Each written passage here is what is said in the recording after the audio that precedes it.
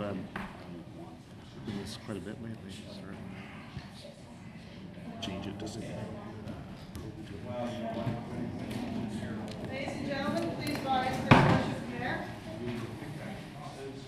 Good evening, everyone. Good evening, Your Worship. Good evening, Your Worship. Please be seated.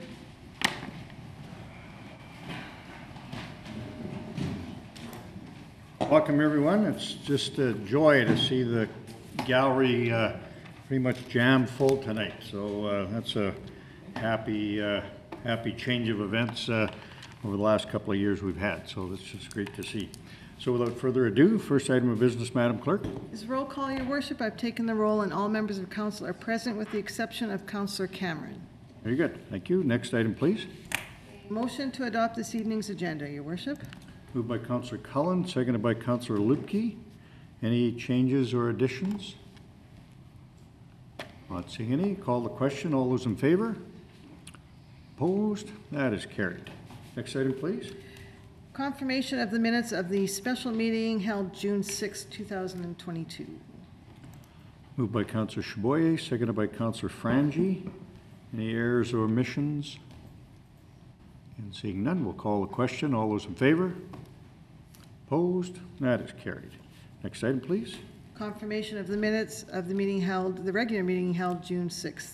Moved by Counselor Parker, seconded by Counselor Luebke. Again, any uh, changes, errors, or omissions? Seeing none, calling the question. All those in favor? Opposed? That is carried. Next item, please. Under the order of presentations, your worship, we have Julia Greer, Sky Schott, and Kobe Lim from the Youth Activities Program to give us an update for 2022. Right on. Come on ahead. Welcome. Thank you. Uh, good afternoon, ladies and gentlemen. My name is Sky Schott. Um, I am the program assistant at the junior program of Youth Activity Center. This is my first year working for the program. My name is Julia Greer. I have previously worked as a youth activity leader for two years, and this is my first year as the program assistant of the West Division of the Youth Activity Center program in Brandon. Good evening. Uh, I'm Kobe Lim. I was a former Youth Activity Center kid for four years, Youth Activity Center leader for two years, and now I'm the program assistant at the East Division of the Youth Activity Center. Today, uh, we are taking another step forward with the City of Brandon and officially announcing our candidacy as co mayors. Just kidding. I'm, I- I'm running by myself. Yes, yes. So, the Youth Activity Center, or YAC for short, is a completely free summer program for youth to attend during the summer months. We are absolutely beaming with excitement to have this program back since uh, our last summer in 2019. Yak has three centers across Brandon. Yak Junior is for ages 7 to 9, and it is at the Valley View Community Center. Then we have Yak West for kids between the ages of 9 to 15, and it's at the West End Community Center. And finally, Yak East with ages 9 to 15 located at the East End Community Center. Every day at Yak has a different theme that provides a vast array of experiences for our youth. We have days that promote physical activity through play, days that spark the imagination through crafts and other hands on activities, and days that highlight the cultural diversity amongst our kids and within the community. With Yak being so easily accessible, we leaders have witnessed children from all walks of life make friends and memories that will remain with them for their lives. YAC strives to inspire kids to have fun and carry kindness wherever they go. Of course, we would not be able to do what we do without the support we received from Council and the partnership with the Central Council of Community Centers.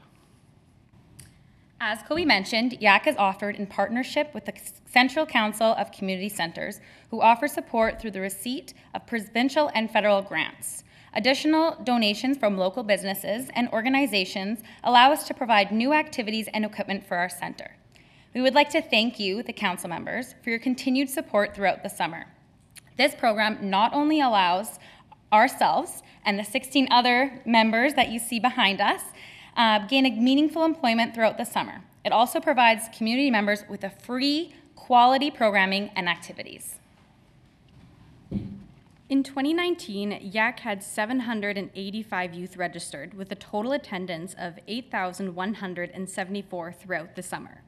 These numbers are a direct reflection of the positive impressions and connections that kids make at our centers. It is the experiences and relationships that the children build with us and other youth that bring them back time and time again. We hope to make a positive impact in our community again this summer, and we once again thank you for your support. We have a short three minute video from YAC in 2019 to highlight our program, and then we can answer any questions following the short clip. Thank you.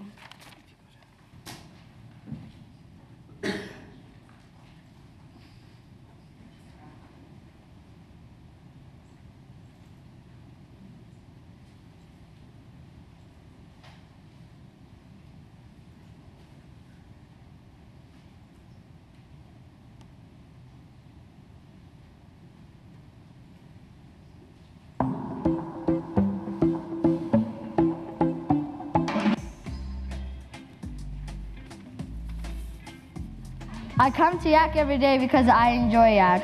I'm bored out of my mind being at home doing nothing. Otherwise, if I was at home, I'd just be sitting there, I don't know, watching TV, playing Fortnite. I come to Yak because it's really fun and every day is something new and it's always fun to try. I come to Yak because it's really fun and most of the leader, if you're having a bad day, most of the leaders, you know, they're to cheer you up and stuff. So yeah. To have fun, I don't know. This is not a game to, to have jokes, okay? It's my turn, not yours. To try to make friends. Because it's fun and I get to see all my friends and it makes me happy. I thought it would be fun to make new friends and to be a friend to other people.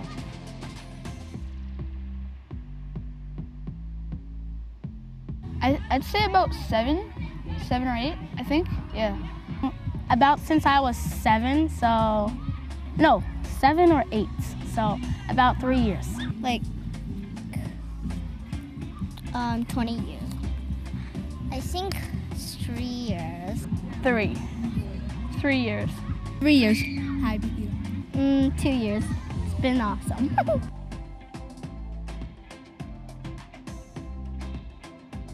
Watch iPad all day long at, our house.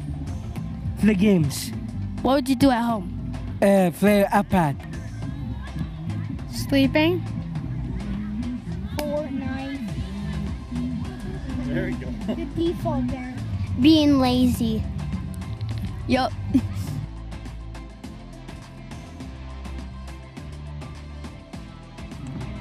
My favorite day was when we went to the movies because I watched one of my favorite movies. It definitely would have been Carnival Day, but it wasn't here because I was at a basketball camp. But I'm looking forward to it next year. Or Cooking Day, because man, I love chocolate and bag. That's tomorrow, so I, I can't wait for that. Yeah. Um, probably the dance because I get to dance with my friends.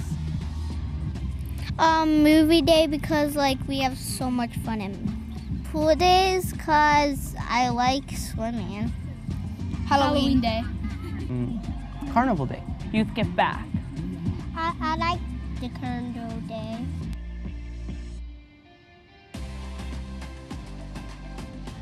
The first year I came to Yak, everyone was like welcoming me nice and stuff.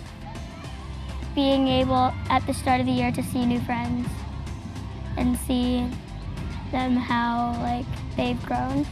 Like a long time ago, I'd watch America's Got Talent, and there would be this funny uh, guy who didn't talk. He was like a mime, and he'd do a lot of funny things. His name was Tape Face, and now he has a show in Vegas, so it's pretty cool. And back in the Yak South, we were doing the talent show, and then I actually won first place during that, and did some of his moves. So it was actually pretty fun. So yeah. Um, me getting my Yak leader T-shirt, it made me very happy. Being nominated a junior leader and getting a blue yak shirt.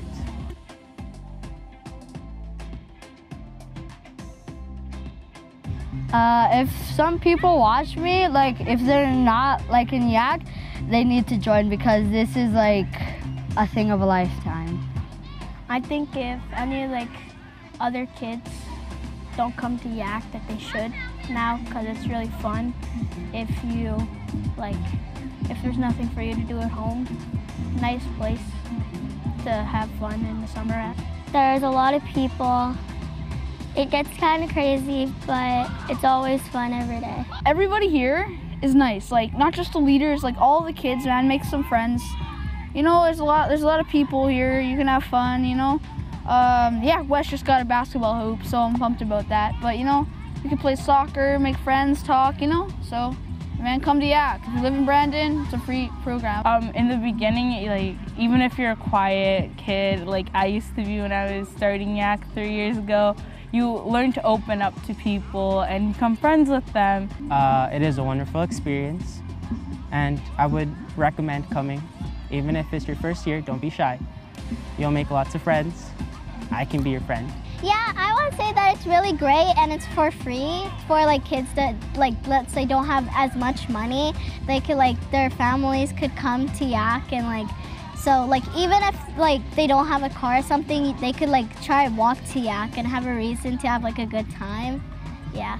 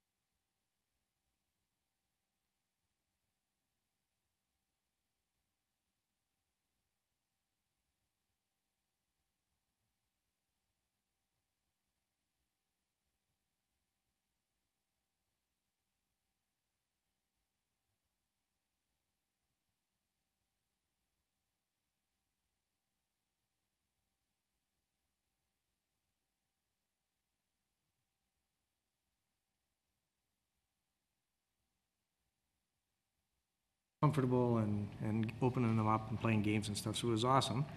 Um, and I just wanted to ask if somebody knows how many have registered thus far this year, because they were at the community center again Thursday looking to reg, or Friday looking to register actually, when I was there, so.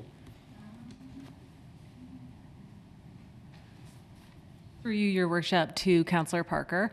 Um, we've brought in about 300 registrations so far, um, but people can just register on the first day, so we expect many, many more. Awesome. Um, And so the, the last comment, um, sort of related, but not really. Um, The rec department, there's a few keyboard warriors who've given them grief over the last while, but we don't have good recreation in Brandon and yada, yada, yada. And, and I, I would say the, there's some examples that are uh, quite different. This, this is a shining example, but also Brett and Coralie, um, I think spearheaded the, uh, it's a program for kids to try T-ball and soccer together combined. It's a great program. It's sold out. Um, so there is, there- our rec department is doing some good stuff, and Yak is sort of the crown jewel, I would say, but uh, kudos to you guys for all you're doing, and have a great summer at it. Thank you. And Councillor Berry, did you? Yep. Yeah, go ahead, please. Thank you, Worship, uh, through the presenters. Uh, Thank you very much for the presentation. I certainly love the enthusiasm and the energy, and maybe you can leave some of that energy in the room tonight, because looks at our agenda tonight, we're going to need it. You might want to share some of it with us. We're going to be here for a while. My question mostly pertains to, I know this program is very, very popular, and as it was mentioned many times, in that it's free. So the kids love to come to something like that. Obviously, you probably can't accommodate everybody that wants to come. So how do you actually uh, do the registration to allow the kids, like, is it the same kids that get to come all the time, or do you have kids that have the option to maybe come another day because maybe they didn't get in this day, or, I'm just looking at how the, you know, how the parity or the split, the fairness, so that everybody can have a chance to attend uh, when the camps are full. Through your worship to the counselor. Um, so our program, we do have a 75 limit at each center, um, and each day is different throughout the summer. So we've given um, the option to parents and kids to come whenever they want. Um, or we will ex- be expecting lines from who knows, 12:30 on, and we will count down the lines to the first 75. So it's kind of a first come first serve program. Um, we do hope that um, we do get a bunch of different kids that can enjoy it.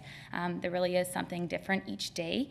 Um, so we've we've told children that if it's you know if you love sports, come on our sports day. If you don't like arts and crafts, don't come on our arts and crafts day. Or if you want to come and try it, we encourage that. But yeah, we're expecting full centers of 75 each day, and we're looking really forward to it. Quick follow-up, Your Worship, and thanks for that answer. That's kind of what I was looking for. But it's a great message to get out to people that don't be discouraged if you won't get in this day. Come back another day because there will be a chance for you to get in. That's great. Thank you for all you guys do. It's great. And Councillor Fawcett? Yes, thank you, through your worship. Good presentation. I, uh, I overheard uh, Kobe singing on the weekend too, which he did a good job of, and uh, I appreciated that. Um, now, where do people find all this? Just to be sure, like, so if they, to know what day is what, can they go online? Is there the website? Is it what, what what's the route to to know what to do? Thank you for your question. Um, so, uh, all the information can be found online, uh, www.brandon.ca slash yak dash overview. Um, there you can find all of the calendars and registration forms for all three of our centers. Excellent. Yeah, so the calendars just outline the themes of every single day. Um, and then from there, they can choose whether, what days they're interested in and stuff like that. And do we do we share that information other places uh, around town? Like where like I'm one of the things I'm thinking is that uh, Westman Immigrant Services, uh, if they have those kind of schedules as a place that they can go to. Through you, your worship, to Councillor Fawcett. Um, yes, we actually attended around 10 um, schools this year um, through the Brand School Division. So we attended grades um, grades two to grade eight. Um, we handed about 2,500 brochures throughout the Brand School Division. Awesome. Okay. And I'm going to piggyback on what they said right off the bat. Uh, I, I used to talk to them at school, lots of uh, these people when they were in school, that the people that get involved in community stuff like this, there is a chance, if we're lucky, that you guys will look at running for politics at some point. and it's important because good people need to do that. And you don't, you don't realize it right now, but the people you're sitting with somewhere along the line, people like yourselves do end up running. I know Kobe's mom and dad would not want him doing it right now, but at some point, we do need people to do that. And so by being involved in the community and seeing the benefits, you're exactly the kind of people that somewhere down the line, we do want to see running for politics. So good community people, there's always space for you. So thank you for what you're doing. Thank you. I didn't see other hands up, but I'll take any other questions if there are some. I think not. So, thank you very much. Uh, Like some other counselors have indicated, I've, I've been to lots of yak activities. They've had me come out uh, over the years, and it is certainly one of our, our uh, crown jewels, as, as was uh, indicated. You guys do an awesome job. The people that are watching at home are only getting uh, a portion of the enthusiasm. There's about uh, 16 uh, leaders uh, in the room in the, in the blue shirts, and we've heard from uh, three of them, but obviously this level of energy is going to come out at all of the YAC programs throughout the year, and of course, our own regular recreation staff are also in the, in the chamber tonight that really kind of put this together uh, throughout the year. So we're really grateful for all of you.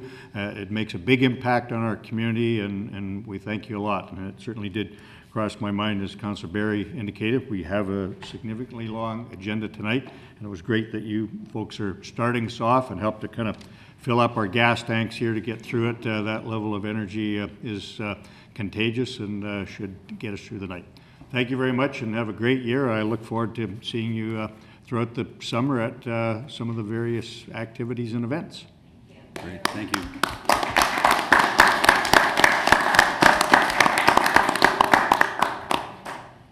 Very good. A motion to receive would be in order, please.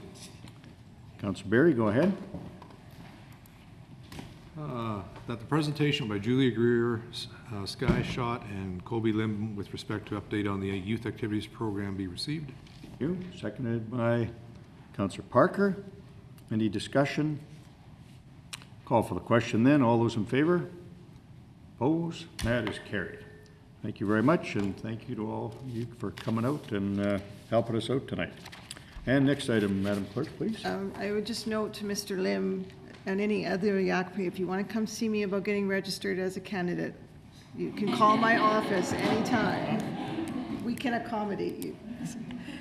Um, Sorry, Your Worship. Under presentations, we have a presentation from Greg Brown, the airport manager, with respect to the airport land use plan. Very good. This is a hard act to follow. I feel bad for you, Greg, but, uh, Oh, I, I did notice that. I was like, yeah, that's fantastic. So the airport land use plan will not be quite as exciting. Sorry.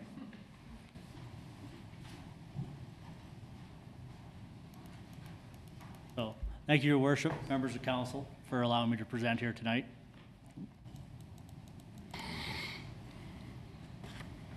Or in the middle somewhere. All right, there we go. Um, in the interest of uh, the amount I see on the agenda here, I'll only cover some of the high points here, but I wanted to make sure that you had the full presentation so that you could review uh, at your leisure and uh, review our land use plan. Uh, just a quick couple p- things about the actual airport, just some of the history. So the airport was built in 1941, although it has had a number of upgrades since then. Uh, some of our infrastructure is 1941 related. Uh, we have about 308 hectares of land. Uh, the runways that we have is so 0826 is the main primary runway. Uh, it is about uh, 2,000 meters long. Uh, both ends of it have approach systems in place, which are a plus. Uh, accommodates up to uh, a Boeing 737-300 is uh, what we can handle at the airport. Runway 1432 is our secondary runway. Its length is quite a bit smaller at 900 meters. It's daytime use only, and it's for light aircraft. It, uh, the secondary runway is actually uh, milled asphalt. It's considered a gravel runway. Uh, in 2020, we, or sorry, 2021, uh, with council, we hired a consultant to come in and look at our land use plan and some of our fee schedules that we had in place. Uh, we did not hire a consultant to do our full master plan. We had uh, a master plan that was uh, established in 1986. Uh, a lot of that is being updated. We've updated many parts of it already.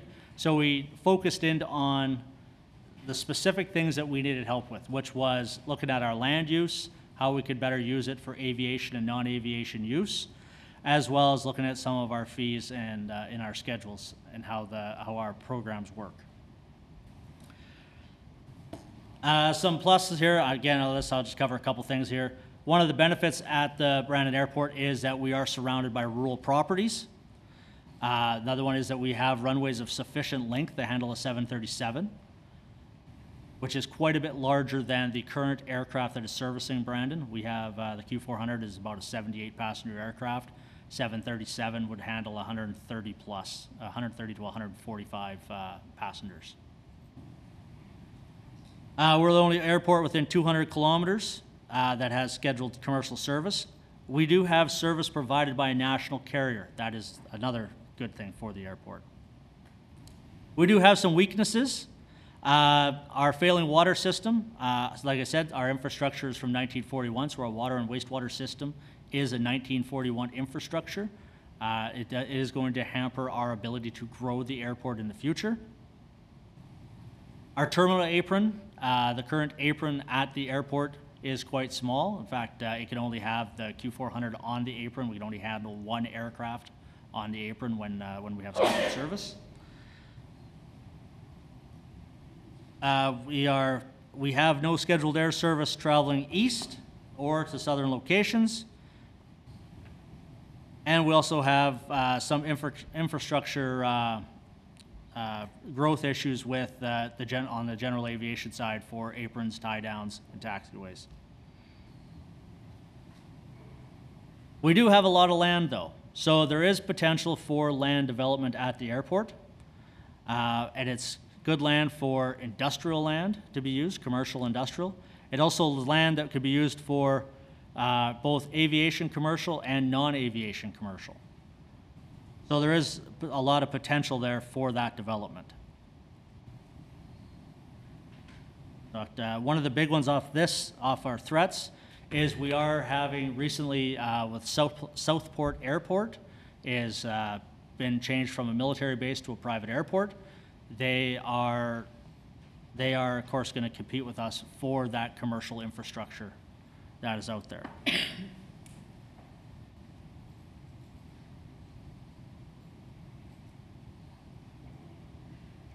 Talked a lot about this. I'm going to keep covering. Uh, when we sat down and looked at some of our rates and charges, so when we looked at our land lease terms, so we have a, we own the land at the majority of the land airside and with that, we have tenants. Uh, We looked at the lease terms and compared to other aviation sectors.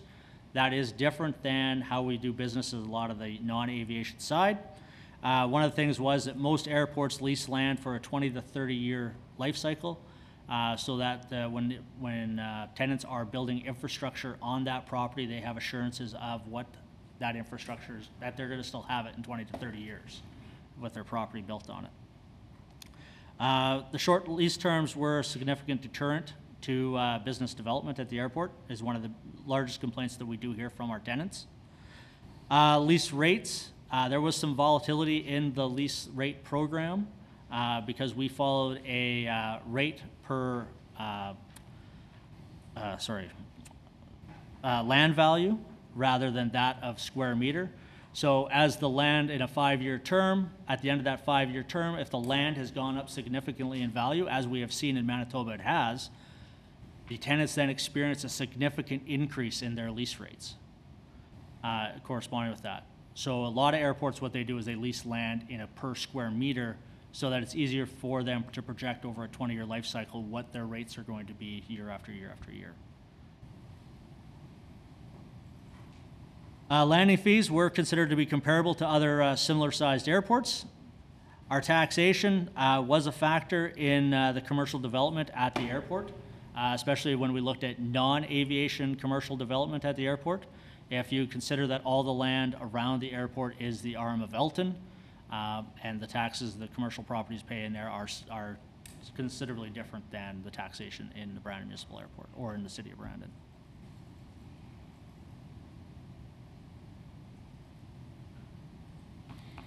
Uh, Some of the struggles that we face with uh, developing flights to the east is, one is the distance. Uh, The other is that we have uh, leakage to Winnipeg International uh, for flights, with just more flights available to them to go east. Same thing with going south. We have uh, leakage to North Dakota for some of those flights to southern destinations.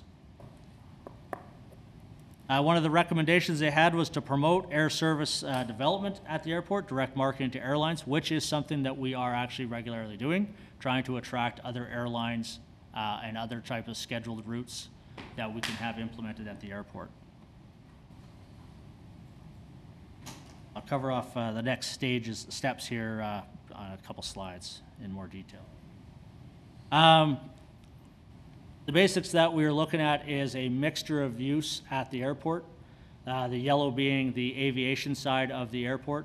Uh, that'll be all for aviation, commercial or personal aviation.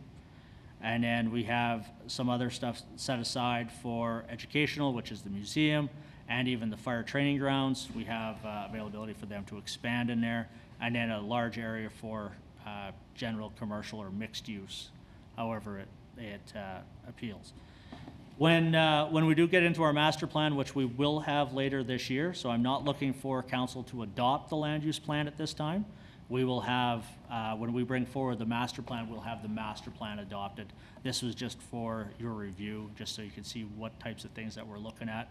And then when we get to the master plan, you'll understand why we came up with some of the things that we did.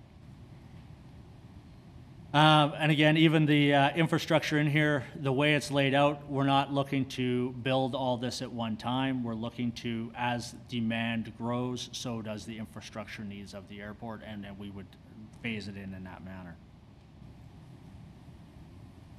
So the basic recommendations that came out of the land use plan were the airport to prepare an airport master plan, which we are working on updating.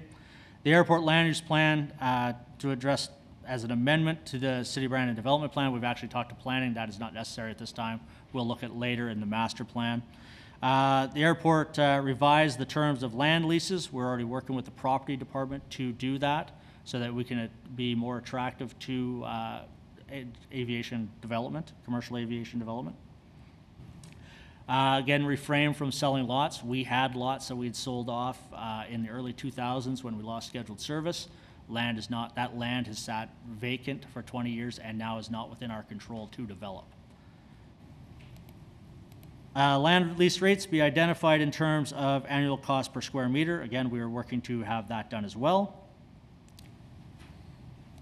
And then again, over time, increase those land lease rates. So we're looking to have an annual increases, so we continue to grow those rates in, in a slow, measured response uh, that both works with our tenants and works with also increasing our budget, our, our uh, revenue sources. And then also proactive marketing of uh, airports, or the, of the airport to the aviation industry. And we're working on that too, especially with the air carriers. The Brandon Airport does offer some incentives for them to come to Brandon. Um, and so we are working on trying to capitalize on those incentives. And that's for you. So at this time, we'll take any questions. Thank you very much, uh, Mr. Brown. Just before we open for questions, we didn't give the Yak people an opportunity to escape. And as Oh. remarkably interesting as we are, this is going to be a long meeting. We don't want to get you kind of pinned in here uh, for the night. So if you're uh, wanting to uh, carry on, you're welcome to do that now without having to interrupt the meeting, so. You don't all have to leave. We'll cool things down a little. By the way, I did ask if I could run for council or put my name in for mayor, and I was told as a municipal employee I was not allowed. That's Yeah. Well, Decisions that's, had to be made. that's not entirely true. You could take a leave of absence, Mr. Brown. Decisions had to be made.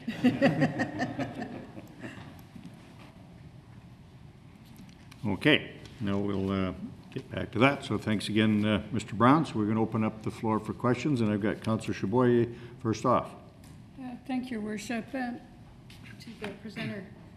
Uh, On your recommendations on number seven, you talk about marketing. Do you work with our economic development department? I notice you use the term "we" all the time. Who is "we"? Oh, sorry. When you do We all is in the city of Brandon. Okay, So yes, we work with the Economic Development Department, we work with the Planning Department, we work with the Engineering Department. We work with all city departments to try and move the program forward. And it's, yes, it's very much a we as in the city of Brandon. Okay. Yeah, that's, because I, when you're talking about selling your, selling yourself to the outside world, I just, I was hoping that the Economic Development Office was included in the process. Absolutely. Thanks. Okay, and Councillor Fawcett. Yeah, thank you through your worship, and uh, thank you, uh, Mr. Brown, good presentation. Um, Our lots that we do have up there, they are all serviced. I know it's old, but are they all serviced? Your worship, uh, Councilor Fawcett. Um, Yes and no. All right. So groundside lots are serviced, airside lots are not serviced. They have power to them, uh, and we have very few airside uh, lots left. Uh, So the part of our development will be to expand the airside lots. Um, The water, wastewater infrastructure is a challenge to expanding that. So we will get more information on that kind of going forward. And, and and of course, uh, the understanding would be that uh, the ser, more service they are, the more appealing they are. That is correct. Go, yeah, we got that all over the city. Okay, any other questions? Not seeing any others. That's covered it. Thank you very much, Mr. Brown. Oh, we're not doing that with everybody? Sure. Until Parlo gets up here. anyway. Very good. A uh, motion to receive would be in order, please. Councillor Jarley? Thank you, through your worship. I move that the presentation by Greg Brown, uh, airport manager, future candidate for mayor, with respect to an update on the airport land use plan be received. Seconded by Councillor Chaboyer. Any discussion? Seeing none, we'll call the question. All those in favor? Opposed? That is carried. Next item, please. Also under presentations, we have Mr. Patrick Pulak, the General Manager of Operations, to give an update on the sump pump and backwater valve program. Uh, Welcome, Mr. Pulak. Evening, your worship. Now, The previous two delegations expressed an interest in running for council. No pressure. I have none. Okay. Full applause here.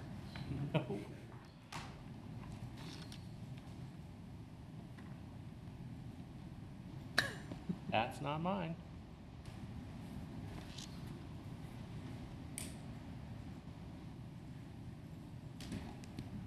Fine. Just while she's setting that up, just a little point of interest. Uh, the service line to the airport, both water and wastewater, were installed in nineteen forty-two. And as such, because the, that, at that point in time, it was a, a uh, federal responsibility, the uh, easement was registered under the name of the king at that time. It still is. And hence the problem we're having. Now 58, 70, 80 years old. Be another king soon. Hey, um, I'm here to just briefly give you an update on our sump pump and backwater valve program. Um, so uh, th- I'm going to talk about the 2022 program and then just put it in comparison to what we've historically done over the last 11 years. Uh, the requirements for the sump pump program in 2022 are practically identical to what we had last year. Um, we are offering funding up to 75% of the total material, the total materials and installation cost uh, for, for the installation of the sump pump and backwater valve. So that's up to a maximum refundable amount of $2,500 for sump pump and pit and, and the associated pit, up to a maximum refundable amount of $1,500 for a backwater valve. Now, this work has to be completed by a licensed plumber. He will, uh, that licensed plumber will provide an estimate as to that work. Um, then after that estimate is, is provided, uh, a flood protection permit must be applied for either in person or through the online portal, and I will provide that information at the end of this presentation as to how you can make those applications. During the installation progress, uh, uh, installation process, this entire process is run through our building safety uh, section. There are two inspections then conducted by an inspector from the city of Brandon during that, and that's coordinated with the plumber who's doing the work. And then on that second and final inspection, once the work is completed, the homeowner must submit proof of payment, after which uh, a check will be issued for their eligible amount uh, within 30 days. Um, so we have been doing the 2022 program since April 4th.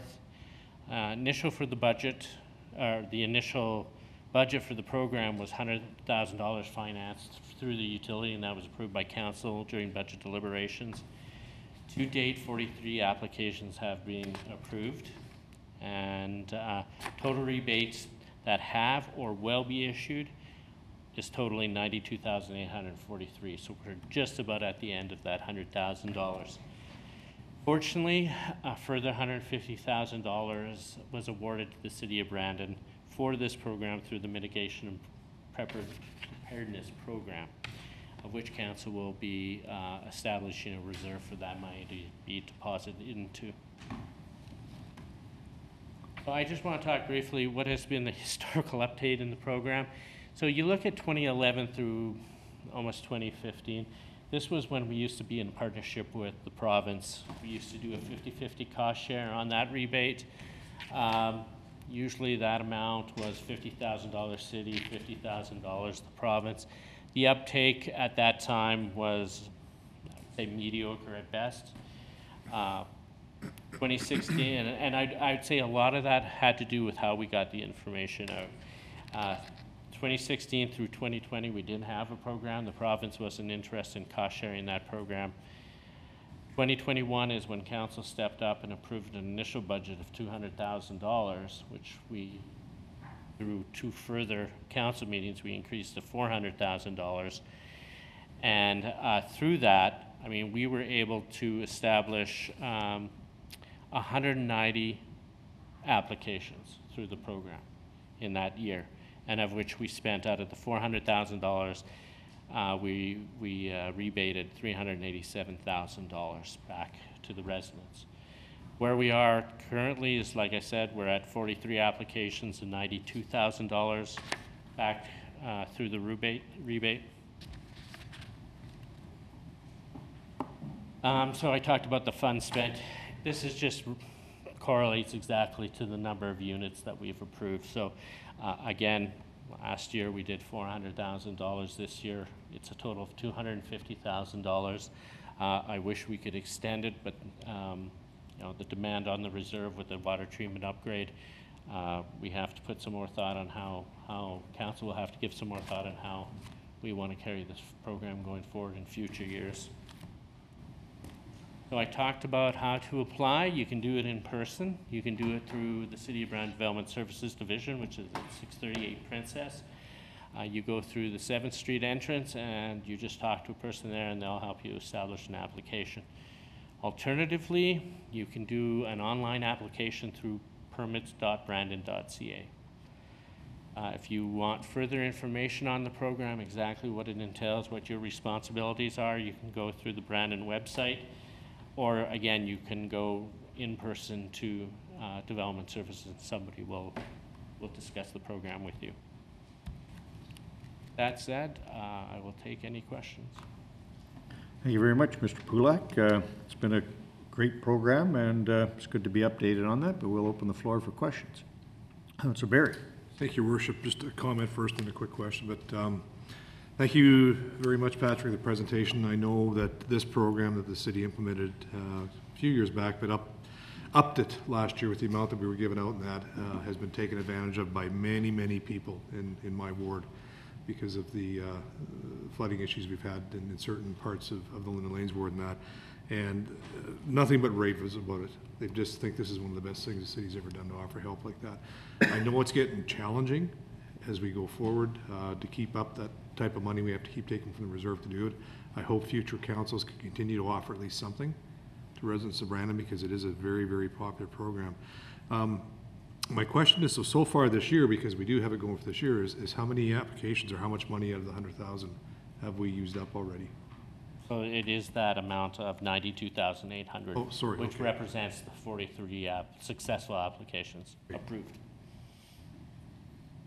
But doing the math, so you'll have another hundred and fifty thousand and extrapolating that, you're probably gonna get to do about another sixty-five or seventy yet available on top of the forty-five, so it'll put us well over a hundred, uh, uh, if the, uh, applications keep at the pace they're coming, would that be correct? I would agree. And it's all dependent on the weather too. If we're having, much like we've had this wet spring, certainly uh, makes people uh, recognize the need to have this with our residents.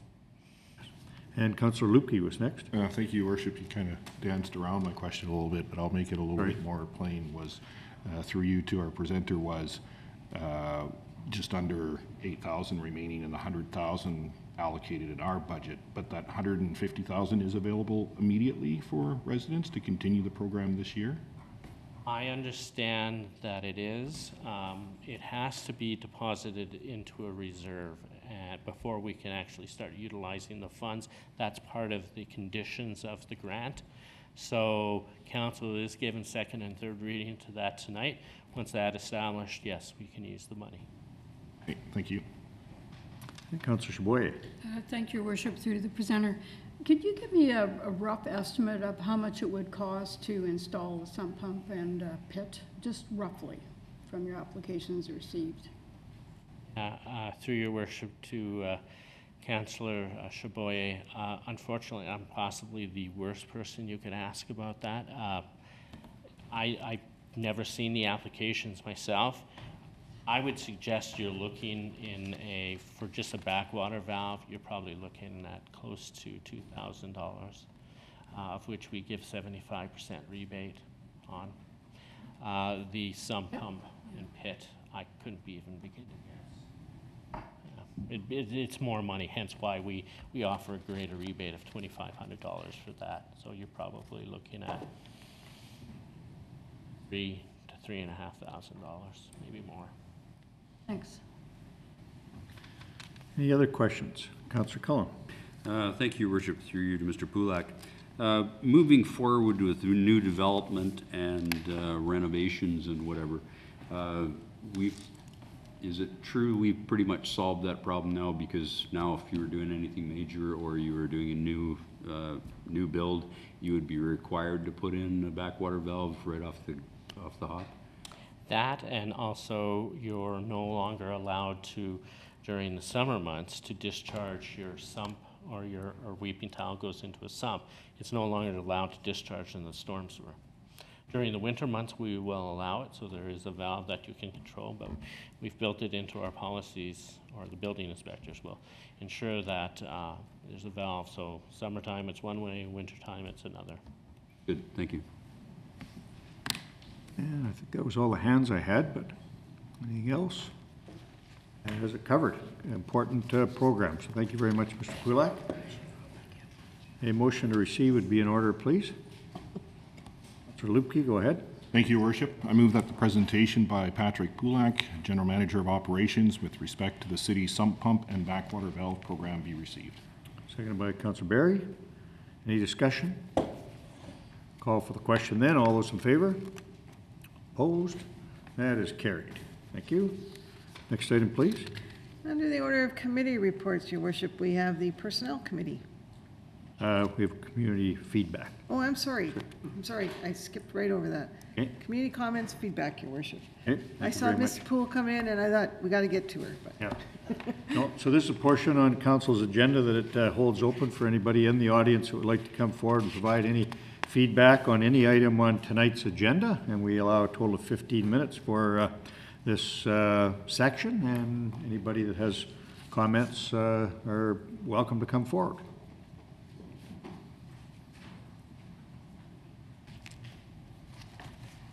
Good evening, sir. Thank you, Worship. Uh, Councilors, uh, Garnet Boyd, I'm a resident of, uh, of um, uh, University Ward, and unfortunately, our councilor isn't able to be here tonight. I understand he's in uh, York Factory, so great place to be with all the, all the bugs and black flies this time of year, so.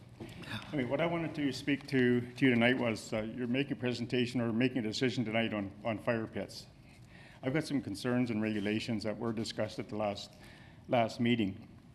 Uh, Looking at the ones going forward, there was a great presentation was made by uh, uh, Mr. Mr. Parlow looking at, at their report going forward and the main recommendations going through there. I agree with those recommendations that they had. The only one I would like to see you consider is using the Regina uh, area going through of allowing fire pits from, from 12 PM to 1 AM instead of 12 to 12. Now, if you are considering any other regulations, I have a concern with the buffer zones.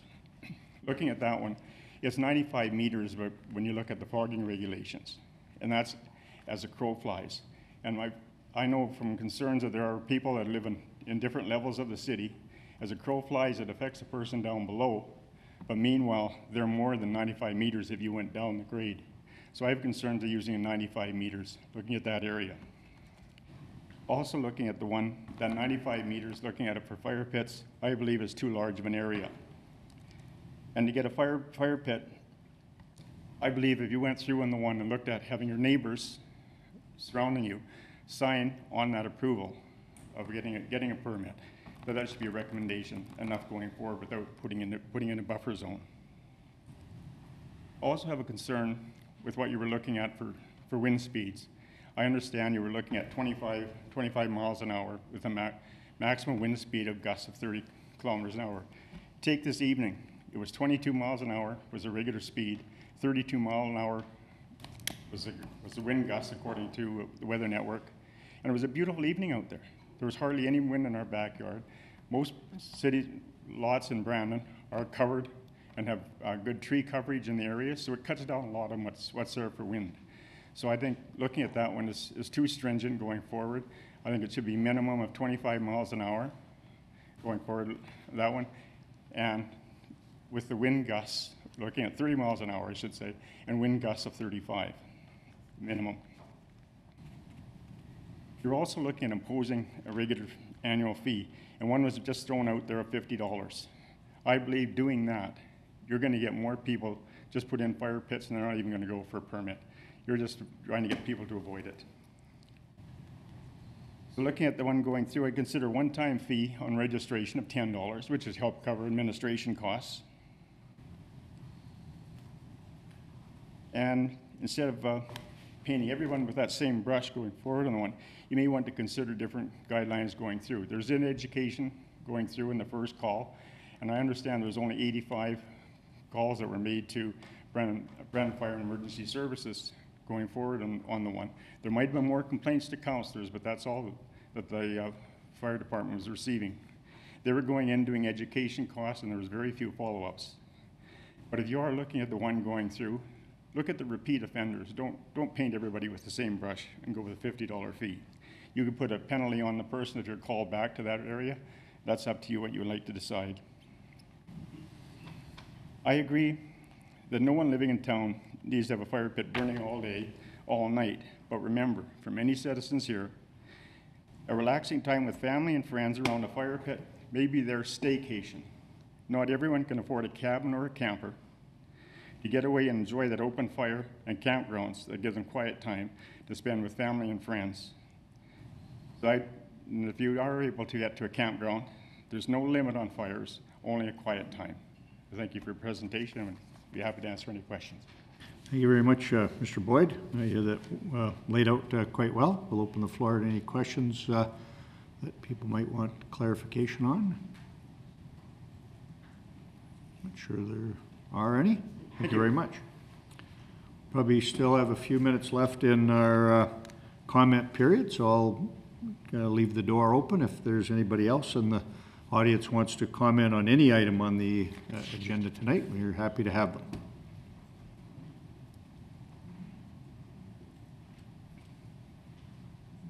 Okay, I think we have that exhausted. So thank you very much. Next item, please, Madam Clerk. Into committee reports, your worship, and we have a report from the Personnel Committee. Very good. And I think uh, we'll probably just have Ms. Poole come forward and give us the highlights uh, of that before we uh, entertain a motion and entertain questions. Welcome. Good evening, Your Worship. Your Personnel Committee, at its meeting held on the 9th day of May 2022, begs- begs leave to report as follows and submits recommendations where deemed necessary and expedient. The purpose of the meeting was to discuss the tentative agreement with the Brandon Professional Firefighters and Paramedics Association, Local 803.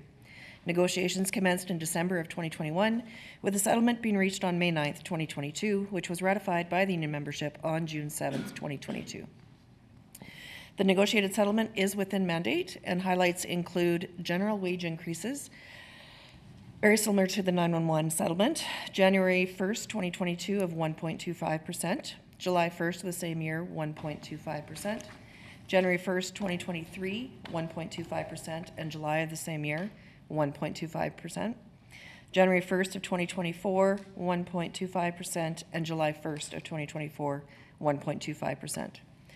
There's also a 55 cent increase to shift diff, shift differential for night shifts, a cost sharing agreement for a joint health and wellness program, a cost sharing agreement for the new paramedic license fees, and it's a three-year contract set to expire on December 31st, 2024.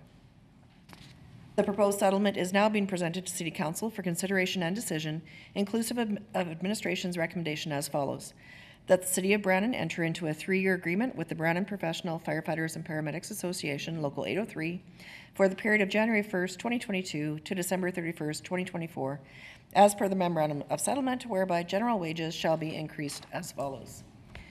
January 1st of 2022, 1.25%, and again, July 1st of that year, 1.25%, and the same in the following two years. So it's a three-year deal with 1.25 on January 1st and 1.25 on July 1st of all three years. Very good. Thank you very much. Comprehensive report, and we'll open up for questions, starting with Councillor Desjardins. Thank you, through your worship, to uh, the presenter. Uh, Thanks for the work. It's great that we have something here negotiated in good faith and everybody agreeing to it. Um, One of the interesting things that we noticed, or that I noticed, is, you know, the, the six-month intervals and the increases.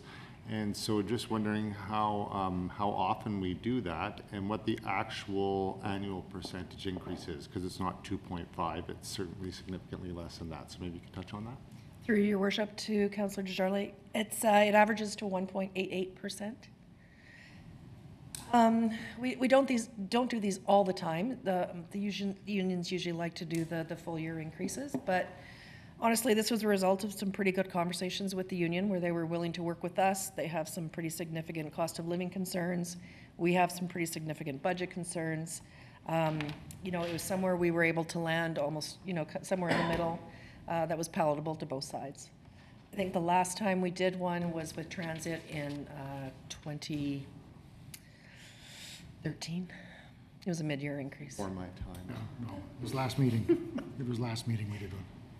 No, um, yes, aside from 911, sorry. Okay, other questions? Didn't have any other hands up, so Counselor Fawcett, go ahead. Yeah, thank you through your worship, and I, I'm glad Councillor Desjardins did uh, ask that, because it wasn't too common, but it is, I guess it's the same negotiating group from last meeting, so it, it, it wasn't a surprise. One point eight eight is a manageable amount, uh, uh, through the year. Uh, we can live with that. I'm always happy when I can see us negotiate and come to an agreement. So I think that that's good, and I hope going forward, we can continue to do those sort of things. Um, So thank you on behalf of yourself and, uh, and the union for trying to consider the city as well as their well-being in all of this, so, well done. Thank you. Any other questions or comments? I think that has it covered. Thank you very much. Thank you. Poole. And what is council's wish? Uh, Motion would be in order. Councilor Jarley, do you want to take it? Yeah, thank you, through your worship. I move that the city of Brandon enter into a three-year agreement with the BPFFPA Local 803 for the period of January 1st, 2022 to December 31st, 2024, as per the memorandum of settlement whereby general rate wages shall be increased as follows. January 1st, 2022, 1.25. July 1st, 2022, 1.25. January 1st, 2023, 1.25. July 1st, 2023, 1.25. January 1st, 2024, 1.25. And July 1st, 2024, 1.25. Thank you. Seconder, please. Councilor Cullen. Whoever wishes to speak? Any other uh, discussion? I will uh, weigh in then if uh, no other councilors are, are going to and uh, echo some of the previous comments made. Uh, Again, I think this is a, very suitable agreement. Like others have mentioned, it's always certainly very good for the organization on both sides when we can have a, you know, voluntarily uh, negotiated agreement that everybody can mutually agree to. It certainly does provide, uh, you know, additional sort of labor management uh, piece. And so I, I do credit, uh, you know, all parties involved in this, uh, from uh, Human Resources Department, obviously management of the uh, fire service, and then the uh, Fire Association itself for uh, really playing ball together and coming up with a, with a reasonable agreement. And again, I think that it, it, it's an important group. All of our groups are. You know, this particular group uh, has had a lot of pressures on it uh, over the last uh, while and uh, not necessarily easing. So uh, we appreciate the fact that we can get this uh, negotiated uh, settlement. And then finally, um, just on a much broader basis, uh, um, many of us around the table have been uh, associated with this for about eight years, some even uh, longer, and uh, in the uh, success of two terms of council, at least uh, uh, I've been mayor, I think we can be quite proud of our labor management record. Uh, You know, we haven't had any strike or lockout or arbitration or, you know, significant uh, know, labor disruption at all. Uh, So I, I think it really does show a good atmosphere of, of working together. Not to say obviously that we agree on everything all the time, and, you know, there are wrinkles that have to be worked out, you know, even in between agreements, obviously, but uh, generally speaking, uh, we're in pretty good shape, and, you know, I, I do fully credit to all the people involved, again, from our uh, Director of Human Resources, and then all of the groups uh, uh, that are involved, and, you know, it's hard work at those negotiating uh, tables, and uh, really pleases me that uh, we can get to the finish line in a, in a very uh, appropriate manner. So just wanted to put those comments in. Uh, Councillor Fawcett? uh, Yeah, excellent. Uh, Thank you, through your worship. Um, One thing I do want to make note of as well here is, uh, just because of the, the uh, the group that we're working with there, is uh, we did a little bit of a Band-Aid job over the budget on uh, the ambulance service. And so we do want to continue to have our management team and our political team pressing the province and uh, shared health to come to some kind of better solution for the long term for our, our residents. So that is an important part that we need to play in, in sort of helping that whole situation. So Yes, if we can thanks for bringing that openly say that we're continuing to work on that. It's a significant province-wide consideration. Obviously, you know, we're most concerned about our kind of piece of the puzzle, our corner of the, uh, of the, and again, we're trying to work, uh, you know, with the association on that. Um, It, uh, you know, obviously would have had, you know, some effect on the negotiations, but again, I I credit everybody for sort of rising above that much bigger picture situation and, you know, making sure that we got this done, and then, you know, together we can continue to work on, on that. So thanks for raising that, Council Fawcett. Any other comments in before we call the question? Seeing none, call the question then. All those in favor? Opposed? That is carried. Thank you very much. Thank you, uh, Ms. Poole and Deputy Chief Parlow as well. So, On to our next item, please. Also, under committee reports, we have a verbal report from the Poverty Committee. And Councillor Luebke? Thank you, Your Worship. Uh, Our Poverty Committee did meet on Jan, uh, June the 8th. Uh, We, uh, before we began our meeting, we toured the Brandon Food Rescue Grocery Store, which is located at 719 Rosser Avenue. The Food Rescue Grocery is on a mission to save 100,000 pounds of food from the landfill this year and appear to be well on their way as they have already passed the 60,000 mark. The store's mission statement is at Food Rescue Grocery Store, we think good food should stay out of the landfill. So we're bringing a new brand and approach to food security, providing rescued food at a low price for all. Come visit us in person and save something delicious today. The food at the store isn't collected by any other social agencies and would be composted or sent to a landfill because it is deemed access by its makers. They do not compete with other nonprofits for donations, but instead seek out food that is not being donated and bring it into our community for distribution. And current hours for the store are Thursday and Friday from 3 to 6 p.m., Saturday from 10 a.m. to 4 p.m., and Sunday from 1 to 3 p.m. Uh, In addition to the tour, we did get an update on the Community Indicator System website that was being built through the United Way. Council may uh, remember that our Poverty Committee contributed financially to the United Way to help build that uh, website. I believe it was $5,000 that we provided to them. The CS CIS, the Community Indicator System, will be live as of this evening. They were going to launch it as part of their annual meeting tonight. Uh, It was always a work in progress as more information is gathered, and we'll be adding a bit more in-depth Indigenous component once their Indigenous Advisory Council starts their work. The website address is brandon.tracking-progress.org. The committee also provided feedback to Brandon Transit about the current report being prepared to offer low-income fares or passes for Brandon Transit, and we continue to look at supporting a community wellness event in our city this fall. Uh, Stay tuned for more details once we have some firmer plans developed on that. Thank you very much. Great report. Any uh, questions of Councillor Luebke or any other members of the uh, Poverty Committee on that report? Uh, Looks like it has it covered. Thank you very much.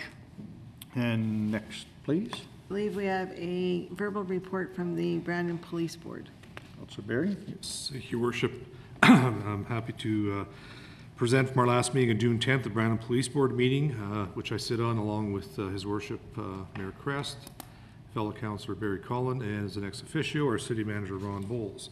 Uh, At this meeting, we had the uh, luxury of having a presentation by our two Brandon Police Service School Resource Officers who serve in both the kindergarten to grade eight schools and the high schools, grade nine to 12 in Brandon here, and they were Constable Jason Medwichuk and Constable uh, Moshe Linoff. Uh, They presented uh, on different aspects of the duties they do there, the calls they have to deal with while in the high schools, uh, other interactions they have with the students and with the teachers and that. It was actually a very, very thorough, very educating uh, presentation. And, uh, and the job these guys do in the high schools is, is like phenomenal because it's a lot of things that we don't realize that's going on outside of the streets and in the schools and that, that they're taking care of. And, and a lot of letters of support and praise came in from both parents and schools in, in situations in dealing with the kids and that. And, and again, it was a very, very good presentation and hopefully someday in the future, um, they can come and, and do this presentation towards all the council so they can see what these uh, school resource officers are providing as a service, so. Along with that, we had our uh, report from the chief of police on his activities uh, for the first four months of the year. As usual, he's kept very, very busy with meetings both with the province and with the city and with other uh, interactions with uh, committees and that throughout the city and that, so I won't go through all of them because his list is always about a page and a half long. It means, we keep him very busy. Also at the meeting in that, uh, uh, financial summary, which I'll update here in a sec, and there was also an update given by Chief Balcaen on the permanent detention center build, which now a tender will be going out for, and I believe it's June twenty-third is when we will hear back on, on who will be getting that as well, so. Uh, you also touched briefly on the downtown strategy and downtown wellness and safety task force, which we've had talks about here before with our committee. Uh, we did have a bit of discussion after a brief presentation from Chief Balcaen on the image capturing devices and legislation, so there was a brief discussion within the board at that time. And we were also presented at the time with an update on the Brandon Police Board Policy by one of our committee members, board members, who gave it to uh, the rest of board members for us to look at before our next meeting in September, in case there's any changes or um, additions, deletions they want to make to that, so. So just going back to the financial uh, budget part of the police, at this time, the police service is projecting a deficit of seventy-two thousand, one hundred and thirty-nine dollars for twenty twenty-two. Uh, this is comprised of, uh, thirty-three hundred and a bit in operating costs and sixty-eight thousand deficit in the police vehicle costing center. Um, most of the increase or the deficit, uh, the, the expenses of fifty-three thousand are because of the increase of fuel. Surprise, surprise. There we go. It's, you know, it's the fuel costs are, are really hurting all operations in the city. The police is no exception. Um, costs arising with police services to transport the prisoners, and we've had this discussion before, to the Winnipeg Remand Center amounted to about twenty-four thousand six hundred and six and seventy-seven dollars in twenty twenty-two. The good news here um, is that uh, Brandon Correctional Institute is taking back that responsibility, so the police will not be doing that anymore going forward. And that's actually good news, that we will not have our officers having to transport prisoners into the remand center from here. That'll fall back to them, so. Currently, the police service is projected to have attained approximately seventy percent of the vacancy management target, management target for twenty twenty-two of three hundred and the last bit I'm gonna share with you is the total number of calls, which I always am interested in. The total number of calls received in the first four months of this year was eleven thousand four hundred and twenty-nine, which includes seventy-eight bylaw rated calls and four hundred and twenty-seven animal control calls. This is an average call of hundred and twenty-two per sworn officer in the first four months. So we can expect that we're gonna be hitting close to five hundred calls per officer again this year if things keep going. Summer's always seems to be the, the busiest time, so. And that's my report I wish to submit. Excellent report, uh, Councillor Berry. And we'll uh, open the floor for questions uh, anybody might have of uh, Councillor Berry's report from Police Board. Councillor Desjarlais. Thank you, through your worship. Not um, the report directly, but um, we had, you know, last year, and, um, you know, we're coming out of a pandemic, but last year we had a a resident um, connect with some of uh, uh, council and and, uh, maybe a few others regarding um,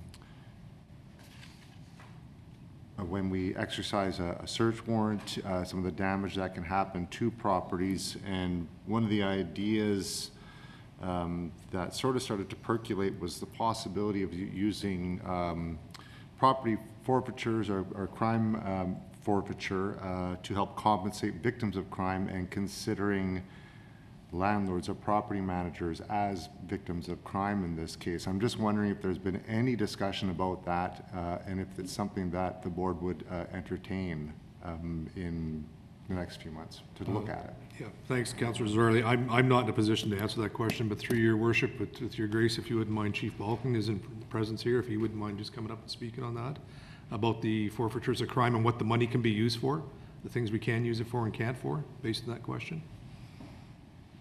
Sorry to put you on the spot, Chief, but. Thank you, Your Worship. Through you to council. Um, Good question. However, uh, the Criminal Property Forfeiture Fund is for victims of crime. And a lot of times, uh, the city has their own insurance uh, to deal with issues that involve uh, liability when, when the police are um, using force to enter a property. So right now, we have um, uh, that service provided through city legal and through uh, risk management. I don't believe this would fall into that because they're not a direct victim of the crime. Yeah, thank you, through your worship. So I guess that's what I was wondering, is what is actually under our purview as BPS or the city? Do we have to go by uh, a provincial definition of who a victim of crime is? Or are we allowed to recognize that, you know, a landlord, a property owner who is renting to somebody who might be, you know, in criminal activity and you're exercising a search warrant, which is completely legal, and so there will be no ability for that landlord or property manager to, you know, get covered through insurance because we're exercising a search warrant in a legal way.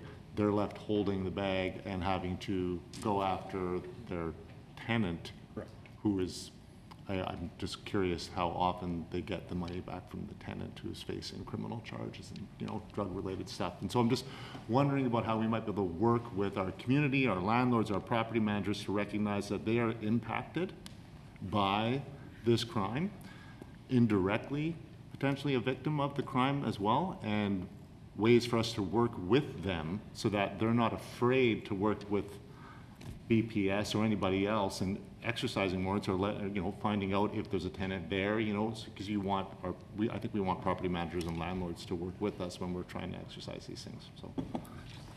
Uh, Through your, your worship to uh, Councillor Desjarlais, we certainly want uh, to have that impact on the community. However, it's not an area where I would be willing to discuss at all with landlords because it's a judicially authorized search warrant, and a lot of times it's, it's done through uh, sessions with the judiciary, and it's kept in private, so I don't want to work with, uh, not that I don't want to work with them, but uh, it would- it would put us, the police, in a bad spot to, s- to talk to a landlord and say, we're going to do a search warrant, could we get a key?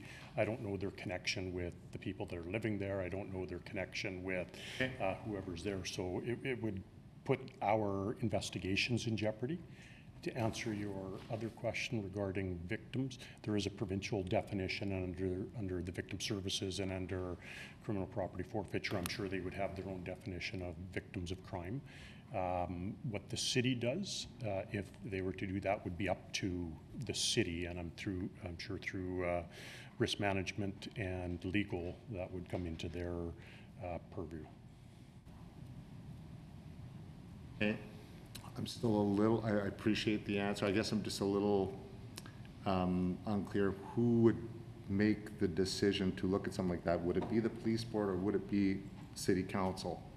And I guess that'd be, is this something that we can have Maybe administration um, look it's a into? little complicated, so why don't we take that under advisement through the city manager and uh, even through the chief, and then our, our- probably it'll it'll involve our legal and risk management departments, so there's probably quite a few mo- moving parts, so I think it would be best to handle it that way and let the city manager navigate that. I think he understands what you're, I think we all certainly know what the issue is, and that there are people that sort of our unwitting victims, so to speak, if, if not that perfect uh, uh, description or definition, but they end up, as you call it, holding the bag. So we can look into it further. Okay. Thank you, Chief.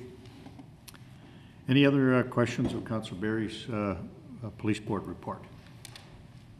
We do have Deb Arpin here. I can get her up too to speak on something now that she's in the audience, so might as well get everybody involved, so. Chair of the Police Board. Other questions? Thank you very much for that, Councillor Berry. Uh, Those are the reports we were aware of, but sometime there are other committees that have uh, met and would like to report, and we'd be glad to take them now. Not seeing any others. A uh, motion to receive the uh, poverty, do we also have to include the Personnel Committee? No, we've already, Okay, okay. so uh, to receive the uh, Poverty and Police Board Committee reports. Motion, please. Moved by Council Berry, seconded by Councilor Luebke. Any discussion? Call for the question then. All those in favor? Opposed? That is carried. Thank you. Next item, please. The order of inquiries, your worship. We may or may not have any, but Yeah, well, there was one that came in, but you weren't sure if you were going to raise it. It's up to you, Well, Councilor. Through through your worship, uh, it was about uh, the weather and, uh, and getting the mosquito spraying going on things. And uh, since I put that in, Councillor Berry uh, has made a more aggressive approach that I agree with, and so we're going to talk about it on the agenda later. Yeah, and I'll say this, that the response that um, would have been replied has got good information, and we'll probably touch on some of that information in In- that in that section, discussion. yeah, so So it's good. that'll be helpful, so. Okay, uh, that said, uh, that was the only inquiry we were aware of, but others do arise. So, Councilor Berry? Yes, thank you. We're Sorry, I did not have uh, an opportunity to get this one in today, and I know that I will not get an answer tonight either. It'll be taken under advisement. I do ask if possible to have it back before next meeting, though. Uh, Currently, uh, Marquis Drive is under construction to have the re- re- uh, street reconstructed because of damage done, wear and tear, a lot of heavy uh, construction vehicles in that area where the developments are going on. Um, They're getting near completion, and this was a a conversation we had a couple months ago with some members of engineering, traffic, and, and actually the Brandon Police Service uh, sergeant at the time. The residents are wondering, and so am I, that once the street is actually rebuilt to the cost of several hundred thousand dollars, if the city is gonna look at putting some restricted load signs on that road so that the heavy trucks, construction trucks and that cannot drive down there as kind of a shortcut between, uh, basically between Battlefield and, and uh, Brookwood, is what they were using it for, because we're spending a lot of money to fix it. And the last thing we need is all these vehicles to come back on there again and start ripping it up again. So, uh, the point was made in our meeting, I'd like to know if the city is gonna be doing something, uh, whether enforcement-wise or sign-wise for load limits, types of vehicles, whatever. The citizens are just looking for something, uh, hopefully to come back on that, because, again, nobody wants to see the street have to be redone again in two, in two years, just because of that traffic, so. Well, good. I think we, we'll uh, take that under advisement. Uh, Again, I think uh, engineering and our transportation department is certainly well aware of what you're driving at there and, you know, have the data and have an understanding of that, so they'll, they'll uh, know what, uh, what the inquiry is about. Thank you. And any other inquiries that uh, came in late? All right, not seeing any other. Next item, please. The order of announcements, Your Worship. Announcements this evening. Councillor Jarley. Thank you, through your worship. Just a friendly reminder to everyone that tomorrow is uh, National Indigenous Peoples' Day. Uh, And there are celebrations happening uh, tomorrow at the Riverbank Discovery Center from around 12 right through 9 PM. There'll be lots of um, stuff for the kids to do throughout the day. Uh, Lots of displays, crafts, food, entertainment, uh, rounding out the evening with um, Indian City and Don Amero closing out the night. So hopefully the weather uh, holds and uh, we're able to, to celebrate. And, you know, tomorrow is about being grateful for the sun, right? Being grateful for this, for the summer that's, we're eventually going to, uh, to, to experience here together. And, um, and, you know, the, the, the joy of, uh, of living uh, on the prairies with, uh, with uh, summer coming on, with our First Nation Métis and Inuit brothers and sisters. So, hopefully we can get out and celebrate with them tomorrow from twelve to nine at the Riverbank Discovery Center. Thank you, Councillor Desjarlais. And the, a lot of activities within the entertainment lineup uh, is phenomenal. So it's, uh, I understand there's no charge for this. It's a- just a great evening, uh, a great day out. So, Thank you. Other announcements? Sorry, through your worship, uh, Councillor Fawcett did remind me to tell everybody to bring their own chair tomorrow. Right. you. And uh, I'll toss in a couple. Just before our, our meeting, I, I was at the uh, Commonwealth Air Training Plan Museum for a reception, really sort of uh, Travel Manitoba Board of Directors is in Brandon hosting their board meeting. So they uh, started it off with a reception at, at one of our top tourist attractions, since they're in that business. And they've actually created a, a, uh, it's called Manitoba Flight Pass. They've kind of combined together three air museums, um, uh, including ours, into a kind of a collection of, uh, um, and a marketing effort uh, towards that. So very fitting that they had their opening reception at the uh, Commonwealth Air Training Plan Museum. So we do welcome the Travel Manitoba Board to Brandon. Certainly, uh, we're an important part of that. And uh, next to that, I did, as I promised I would do, be a broken record to uh, remind people that October 26th is uh, uh, elections for uh, municipal and school boards. So the offices of uh, school trustees, uh, city councilors, and mayor of our uh, community um, will be up for election on October uh, 26th. And I believe as of Wednesday, that's 18 weeks away. So, I mean, it is uh, closing in on, uh, on everyone, and we would highly encourage people to become engaged in the process at whatever level they are comfortable in. Consider being a candidate for any of the three um, positions that uh, are available. Um, If not, help another candidate and uh, just pay attention to what's going on and, you know, best of all, make sure that you get out and vote on October 26th. Once again, I always volunteer current counselors. I'm sure the school trustees would feel the same way, that people out there that may have a bit of interest but want more information, I'm sure any city councilor would be glad to uh, take your call and provide you with uh, some information on what it's uh, like while you sit here and watch us meet till late in the evenings and feel, holy moly, that looks like a handful. It's very rewarding work. Uh, It's important to our community, and uh, we really need the uh, engagement of, of a diverse, good group of uh, people running for all these positions. So I promised I was going to keep this up, and I will not let you down. So, Any other announcements that may have come to mind? Councillor Jarley. Thank you. That's exactly what happened. Did come to mind after he's, uh, he mentioned bring your own chair, because Councillor Desjarlais is also having a ward meeting on June twenty-eighth, six thirty at Park Community Center, hopefully on the grounds there, uh, weather permitting, and it's another bring your own chair event. Uh, so we'll be talking about the city plan, some of the events that are happening downtown, uh, update on the outdoor sports, uh, facility, and should have all the world's problems solved by around eight thirty, nine o'clock, so. Be good. Forward to that. Okay, not seeing any other announcements, I think we can move on to the next item, please. Under the order of general business, your worship, we have uh, the request for settlement assistance from the Ukrainian Canadian Association, TRIZIP. Thank you. So um, um, Sandra Trudell has put this uh, report together. As, as always, it's uh, very comprehensive, does provide some uh, um, options for council to consider. And uh, Ms. Trudell is, is on teams available. She felt in light of the uh, fairly full agenda that we have, she wouldn't have to make a presentation when it's already in front of us, but certainly would be available to answer questions. I've got a few thoughts on it myself, but we'll open the floor to any, um, I guess, initial questions if you had any. If not, you know, we're happy to take a motion. But um, not sure how council wants to handle it.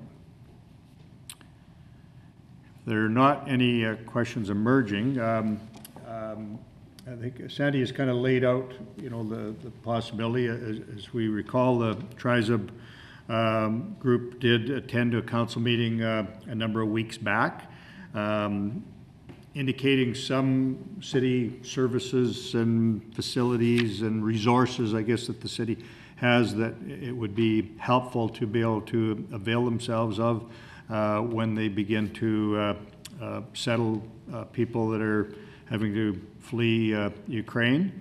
And so administration has kind of put this together. Um, Personally, I, I, I think that um, the needs that they have were things like the resources such as, you know, bus passes, uh, recreation passes for families, uh, possibly criminal record checks, you know, the things that are, that are under the city jurisdiction that we would normally charge for.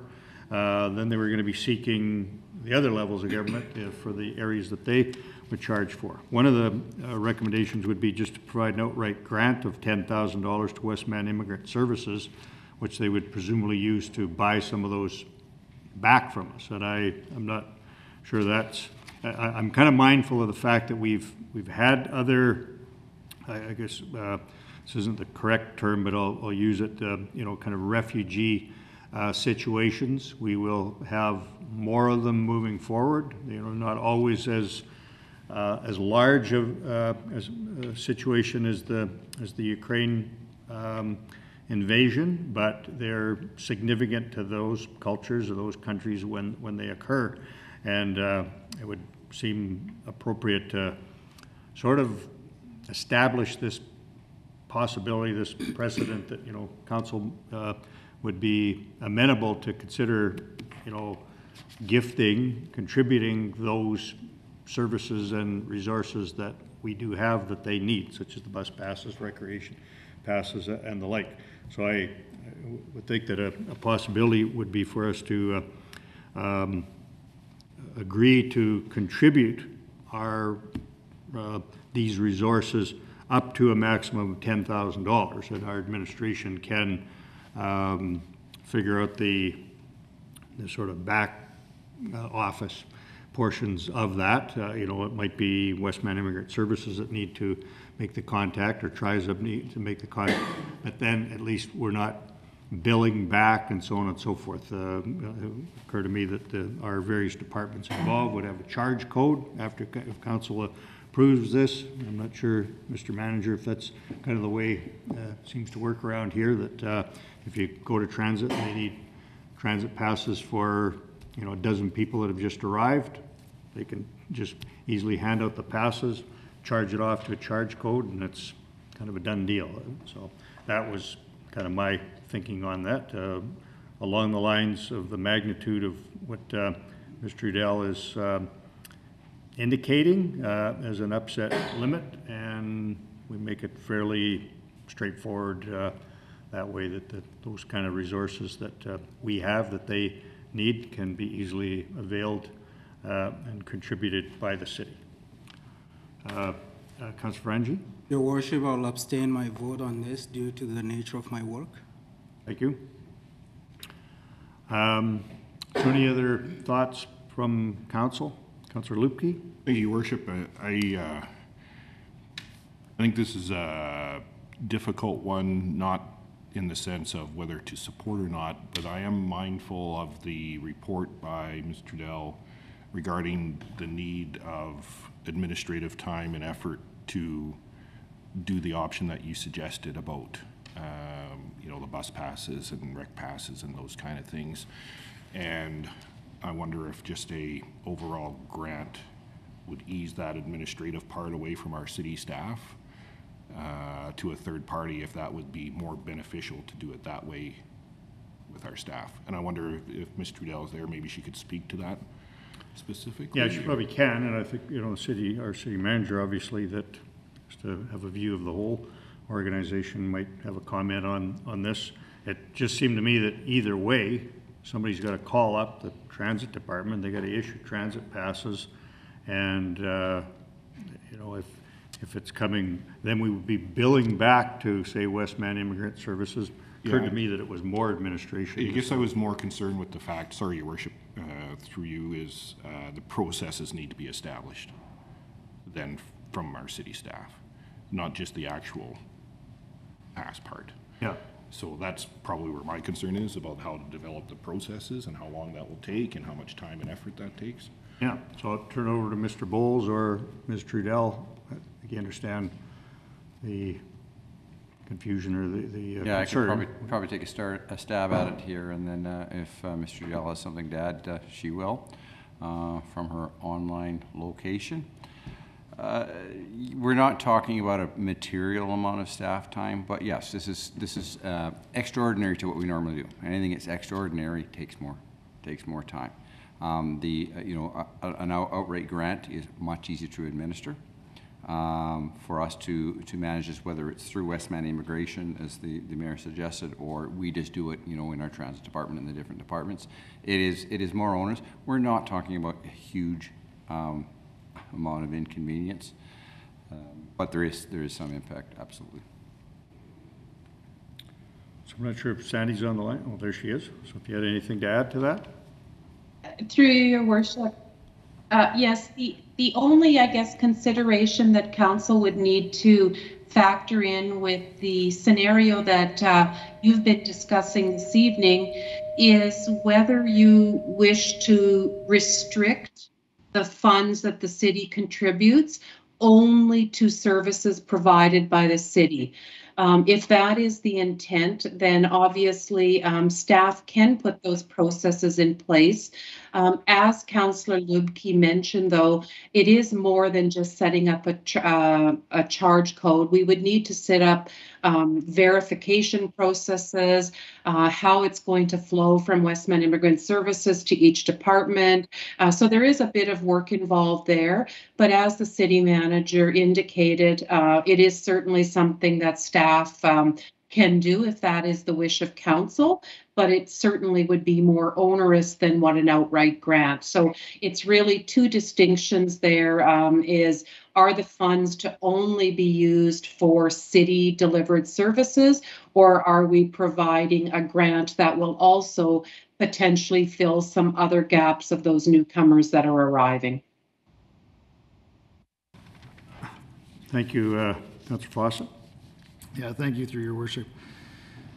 I, I, I'm supportive of just the grant going out there a little bit. Hopefully, it's a one-time thing because I hope some of this is resolved over the next short while.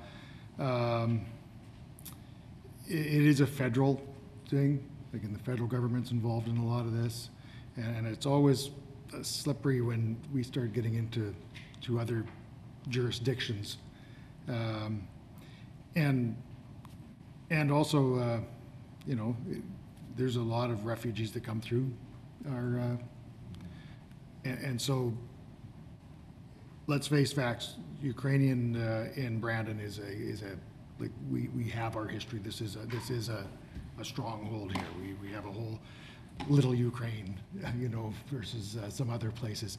And I think it's really important, and we're very aware of everything that's going on there. Federal government is really involved.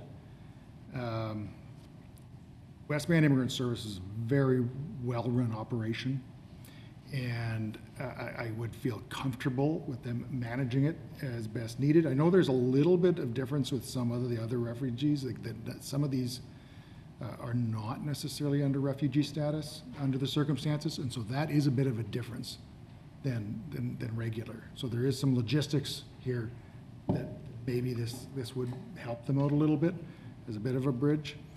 But uh, it is a federal government uh, thing. Um, We welcome all immigrants and refugees. We try to make things as good for everybody. At best, I'd say we do a grant, and Westman Immigrant Services uses it to do the best things that they can do to, to make it work. And then, of course, all our departments are gonna be working with them all the time. We already do, uh, work with the immigrant services and that, so hopefully we can, we can do more. This is maybe a symbolic piece on the city of Brandon's part. It's not a huge, huge dollar amount. As a matter of fact, much more has been raised locally. So it is just a symbolic contribution on the behalf of the city to help transition this. And, um, Fortunately, well, I say fortunately, but my friend Sunday has a bit of an idea on some of this, uh, on what it's like to have to be a refugee, and uh, we don't want to have to imagine that. So th- th- those first months I- are quite, quite the thing. Any little help is, is good, so. Easiest, I think, kind of like Councillor Luebke was saying, just grant. Immigrant Services can handle that. Yeah, uh, Councillor Chaboyer? Uh, Thank you, Worship. Yeah, I support um, what Councillor Fawcett and Luke are saying too about uh, um, letting the experts do the job. And I think that Westman Immigrant Services are experts in understanding the basic needs, and the basic needs would probably go beyond some of the the amenities that the city would offer. Um, You know, for example, they were saying about short-term daycare, or it might be even a basic piece of clothing, who knows? You know, there's so many basic needs for people that are coming that have nothing. And so I think, I, I agree that, I think option three mentions that, that it would be used, uh, you know, at their discretion and on an individual basis, and uh, it's just, I would support that. Okay. And Councillor Luebke? Thank you, Worship. I would make that motion. Okay, go ahead. It's Okay. probably the motion that's listed on the agenda then. I would move that the City of Brandon provide Westman Immigrant Services a grant of ten thousand dollars to assist with, assist with basic settlement needs, not permanent residence-related costs of Ukrainians arriving via CUAET and refugees who have been in Brandon for less than twelve months who are not federally sponsored with funds, provided via the twenty twenty-two grants review budget. Further, that city staff be authorized to execute the necessary funding agreement and reporting process related to the grant. Seconded by Councillor Desjarlais. Whoever wishes to speak? No, I, I think Councillor Fawcett said it very well, and I just believe this is kind of the cleanest way to, uh, to to make a contribution, and, uh, and Westman Immigrant Services, as uh, Jeff said, is kind of trained in, in doing this and will do a great job in getting those funds to the people that need it the most. Yep. Any other, Councillor Cullen? Uh, Thank you, Your Worship. Um, I don't believe that the citizens of Brandon would have any problem with what we're attempting to do here right now. And uh, with this small amount of money, it uh, gives uh, Westman Immigrant Services maybe just a little bit more uh, the ability to react uh, for needs that are sometimes just unexpected.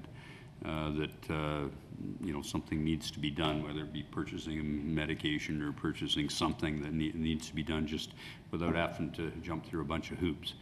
Um, I would like to see, uh, however, a little bit of accountability, just to the point that after when this was done, that we could maybe get a report back through uh, to uh, economic development and through Sandy as far as where the money was used, and therefore that would help us in the future if uh, this were to come back to uh, become a precedent-setting thing. So um, I'm not sure if you need to have a, a, a little bit of an amendment in there to say that the reporting would be coming back or, or not. Madam Clerk, I presume. Agreement Um, I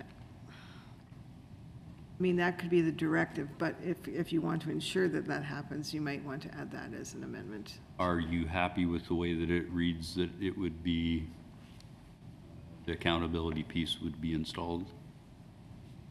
I think that kind of gets deferred to the city A portion of the motion does say for the city staff be authorized to execute the necessary agreement, you know, and they would have the ability to put those kind of details into it, so. Good.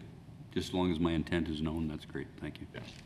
If I may, Your Worship, I would just add that, you know, I, I look at it, it is kind of following the same process through the Grants Review Committee, and part of that is that they do report back on what they use the funds for. So I assume that same process would, would be in effect for this. Good point. Any other discussion? Seeing none, call for the question then. All those in favor? Opposed? That is carried. And uh, noted that uh, Councillor Frangi uh, recused himself from that uh, discussion and voting. Thank you. And next item, please. Is the amendment to resolution number 1127 regarding Park Community Center. And I would note that this motion was tabled at the April 19th meeting. And so we will need a motion to, to uh, take that motion from the table for consideration, that pending motion. Okay. Moved by Councillor Desjarlais, seconded by Councillor Cullen. This is a motion to just remove it from the table and Right. put it back on this table. All those in favor? Opposed? That is carried. So that means we're back to the original motion that was uh, uh, moved on, uh, in April, um, that's listed on the agenda, and we could take it from there. Um, Councillor Jarley, go ahead. Thank you, your worship, I move that council resolution number 1127 related to the issuance of a request for proposals for Park Community Center adopted at the July 12, 2021 meeting as city council be amended by deleting the words repair, upgrade, or replacement of Park Community Center and substituting therefore the words demolition and replacement of Park Community Center. And that the issuance of a request for proposals for the design, build of a new Park Community, Well, that's the second one? Hang on. Just, that would be a separate motion, sorry. Okay, so we'll just deal with that. Seconder for that first chunk, Councillor Cullen. Mover wish to speak? So through your worship, I'm just wondering about how we want to um, move forward with this and whether this would be a time for us to hear from anybody from administration. I believe so. Was somebody planning on uh, making a presentation? Uh, No, your worship, we were not planning to make a res- presentation, but uh, we have city staff that are absolutely available to answer questions. Okay. Yeah, through your worship, I think it would be good for public to hear from administration because we really act, we haven't actually had any of this presented to the public in a city council meeting here. I know that administration has done some due due diligence and has reached out to the Park Community Center Board, but we still haven't done this in public, so. Yeah, so we could have a bit of a, update, uh, I suppose, of the process, Mr. Volz? Uh, Yeah, so um, I I believe uh, Mr. Rock is the, is the author of this report, and so he'd be happy to answer questions. However, I I will make a note that um, since uh, council last put this on the table, uh, Director of Engineering, who's looking at building this project, because that's what we're seeing it now as a building project. Um, So the Director of Engineering and myself have met on numerous occasions with the Park Community Center Board, uh, had lots of back and forth discussions about how to, to best utilize that site and, and how to uh, develop the best um, uh, community center for the, for the community and for downtown. Um, And so we've come to some agreements. Uh, I think Mr. Allard has put those in this report. So I just want to let you know that, uh, um, I'm just trying to let Perry off the hook here a little bit to let you know that it was Mr. uh, Allard and myself that, uh, and he's on vacation right now. We want to get going on this project. We would, if council is interested in doing it, we would like to do the tender for the design build this fall so that we can, um, they can start construction next year if that's council's wishes. So that's why we wanted to um, go forward. Just very a quick point vacation. of, just, uh, uh, RFP, not tender, because there's a bit of difference, right? We're doing an RFP on this? Uh, Neither, it would be a design-build contract. Okay, I'm gonna let Perry talk about that then. It is an RFP. For design build? Yeah. Yeah. The RFP for design build, yeah. Okay, Mr. Rock, come on ahead and uh, give us uh, once around the kitchen on this one, and uh, we've had many uh, sessions on this, so just a a good summary would be great. Sure. Good evening, Your Worship. So uh, as Ron pointed out, since the April 19th meeting, we have had many uh, meetings with the administration and the Parks uh, Community Center Board to talk about that facility. And both parties have come to the agreement that repairs to Park Community Center are not good value for money. All right, uh, and we see a high risk for a creep in costs as we get into repairing that old building. So the parties have worked together to ensure that a new building uh, should meet uh, the needs of the community. And its administration's recommendation is that the current recommendation is that council approve the issuance of a request for proposal for the design build of a new com- uh, park community center. And the floor plan should be sufficient to accommodate the 140 people uh, in the event and space uh, should have identified basic amenities that will ensure the community center can function. Okay, that's uh, short and sweet, so we'll open for questions then. I think, um, again, just dialing back, um, similar recommendation was, was uh, presented to council probably in April. Then there was an interest to include not only the potential to build a new one, but the possibility of repairing, upgrading the old one. And then we got further engineers involved and coming to the sort of stark conclusion that it just was very difficult, costly, and um, high risk for it to greatly exceed estimated costs. So our administration, I know of uh, the Park Community Center Board and Community Group have been very good at meeting very frequently, as I understanding, with our administration, and they worked through it together. You know, we've always wanted this to be obviously a, a, you know, community engaged project. I mean, this is a, this is a, you know, by its very name, it's a community center, and we need the, uh, the uh, community to be en- engaged in, in the uh, project, and I understand it's got to that.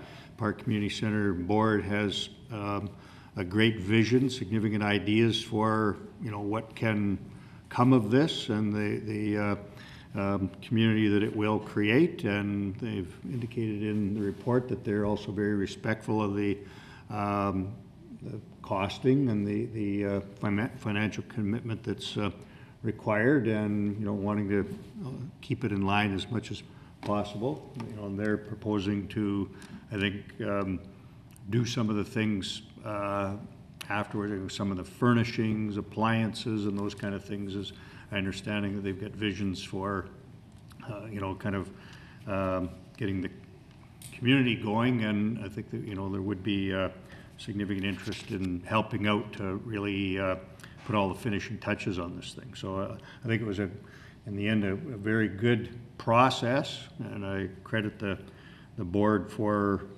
uh, being that uh, enlightened and, and working with, with our administration and, and back and forth on that regard. So, so uh, questions of Mr. Rock or of the process? Councillor Berry? Thank you, Your Worship. So in consideration of this motion and the amendment, Perry, I'm assuming then this would be put into the 2023 budget with the new council? Because of course, we've budgeted nothing for, for any kind of a new build, but, but basically just for 500. demolition? Through you, your worship, to Councillor Berry. Yes, that's correct. We need to do some, the- the RFP needs to go out. We, once we have that information coming back, then we'd be able to know how much we need. We know we have some money in the budget, but not enough money to necessarily build it, or we may have enough money. But we won't know that till we get the RFPs back. Thanks. Councillor Fawcett, then Councillor Parker? Yeah, thank you. Just again, through your worship, so just kind of going uh, uh, 180 here, the- the recommendation originally was from the department to take down that, and we have, a we had a plan to do green space development and park space development. But now the recommendation from council, or from, not from council, but from, from the- the department is, is, is to, to build a new one. So we've gone sort of a 180 on the recommendation to, So. From staff. Administration came to council, you recall, with the recommendation to demolish it, turn it into green space. Council did not accept that. Council put forward the motion to, uh, um, build, well, we had a motion to, uh, put out an RFP to, first it was just to build new, based on the kind of engineering, but then, and it was amended to include the possible repair. So then that set off another uh, several months of investigation and discussion, and that's what's brought us back to here. and, and, and so through, and, and in that process, so when, when, I guess council asked for more information, uh, there was no road back, apparently, at that point. That was council's wish, uh, like the, Guess so. the- I guess so. the recommendation to demolish was not Yeah. uh, put by council. Yeah, okay, this is. I mean, where it's we're still at. open, like we're, we Yeah, still we're have to still vote on debating it. this. That's the whole issue, is that we are still debating it uh, two years on. Yeah. Uh, So I don't know if council really has made much of a decision on anything here, but I- I'm just curious, but, but we, so because of council, staff has changed from their original two years ago to two years in now saying we should build a new building. That's currently where staff, when they originally brought the information, said, no, we're gonna take this down, the south end was also going down, and, and, and now we're two years in, and, and we're at a completely different, like, nothing else going into any other community center, but this, the one that was gonna be taken down is being rebuilt. That's where we are right now. That's the proposal. Okay, I just, it's been a weird road. It is. Okay, Councillor Parker is next. Thank you, Worship. I, we've been around and around this so many times that I'm not sure you can follow it, but Counselor Fawcett's correct. The orig- The original recommendation from administration was to knock it down. But the part that's a little bit more concerning, that we're even at this point, is that this room, save for Counselor Frangi, unanimously adopted a community recreation plan that clearly stated, after we spent hundred thousand dollars on a study, we had people come out and speak to the community at large, several opportunities for that, speak to all the stakeholders at all the community centers. I would suggest probably Park wasn't at those because they didn't have a board at the time, except for two people. So I don't know that they took part. Um, So f- to, with respect to any of the new board members, they wouldn't have been in on those discussions. That master plan clearly said that we had too many community centers, that we should invest money in five or six of the centers that are A, active and, and strategically located. So, um, subsequent to that, one of the most strategically located was South End, and we know where it is. It's in the landfill. And so that area south of where South End one probably should be the next community center built in the city. So we're, we're flying in the face, we spend our hundred or hundred and fifty thousand dollars and a year doing a master plan together. We adopt it unanimously, we all embrace it, until three months later or four months later, oh, we're all gonna change our mind because um, all of a sudden, we're gonna lose a community center. So do we go through this with Central Community Center next year when it's discovered that there's an issue there? And do they get a new community center? Doesn't make sense to put it there. So I'm not sure what we're doing. Um, Furthermore, I want, I want some clarification. Um, Two things. The new board, good for you for stepping up now. Sadly, there was no board at that community center for a long time, and this is why we're in the, the position we're in, and that's no fault of these folks. But I don't know that the rest of the community centers in the city and the citizens of, of the city should bear the brunt of that. It wasn't their fault either. So, one point I want clarified, if I can. I'm not sure if it's the city manager, madam clerk, or if we gotta go to the law firm. An RFP, so if we put out an RFP for a new build, design and build, and it comes back and it's whatever it is, looks like it's gonna be a million two. What, what happens then? Does council then have to approve that we go with the RFP? And then put it out for tender? Or do we have to go with the RFP? Because it's not a tender, it's an RFP, it's a difference, right? So if it comes back at $3 million, well, clearly we're not going to do it, right? That's an exaggeration, but we also thought $500,000 to fix it was an exaggeration at the start, and now it's, that's the sales tax. So we need to know what we're voting on for sure, and I'm not sure somebody can shed some light on that, because it's not fair to the folks in the community center to be dangling for a year and a half or two years. It's not fair to the citizens of Brandon who have been watching this malaise for two years now. And especially to those who provided their input and got a response that we paid $100,000 for that said we don't need the community center. So it, it makes no sense. And then in the meantime, we're putting out this massive city plan. So do, like, do we change that in August? Do we, you know, once it comes out, do we change it two months later? Because it looks really silly what we're doing, to be honest.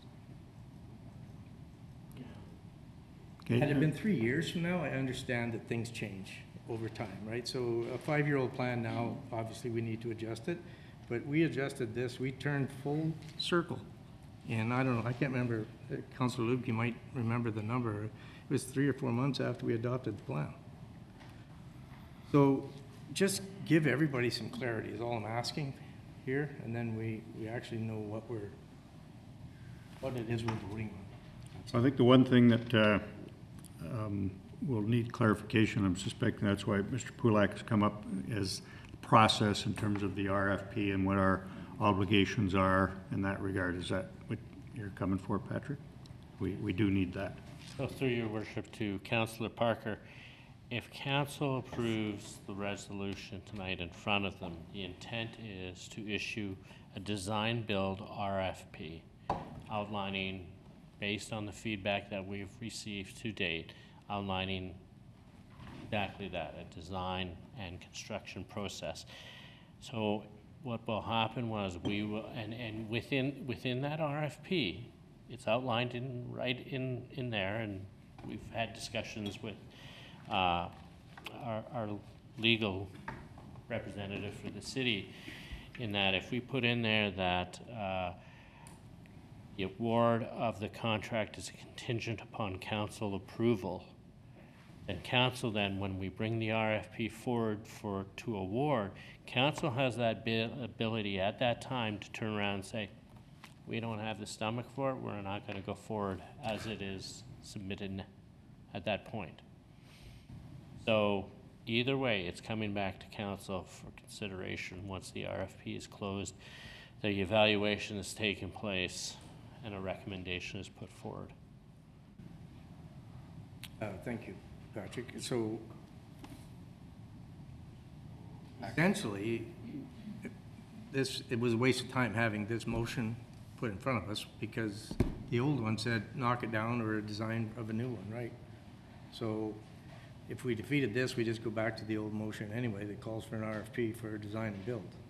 I don't know if this one clears it up maybe a little bit, but If I may, uh, my understanding is, and again, I haven't been part of this process right from the start, my understanding is the old resolution that was improved also included consideration for a renovation of the Mhm. existing building.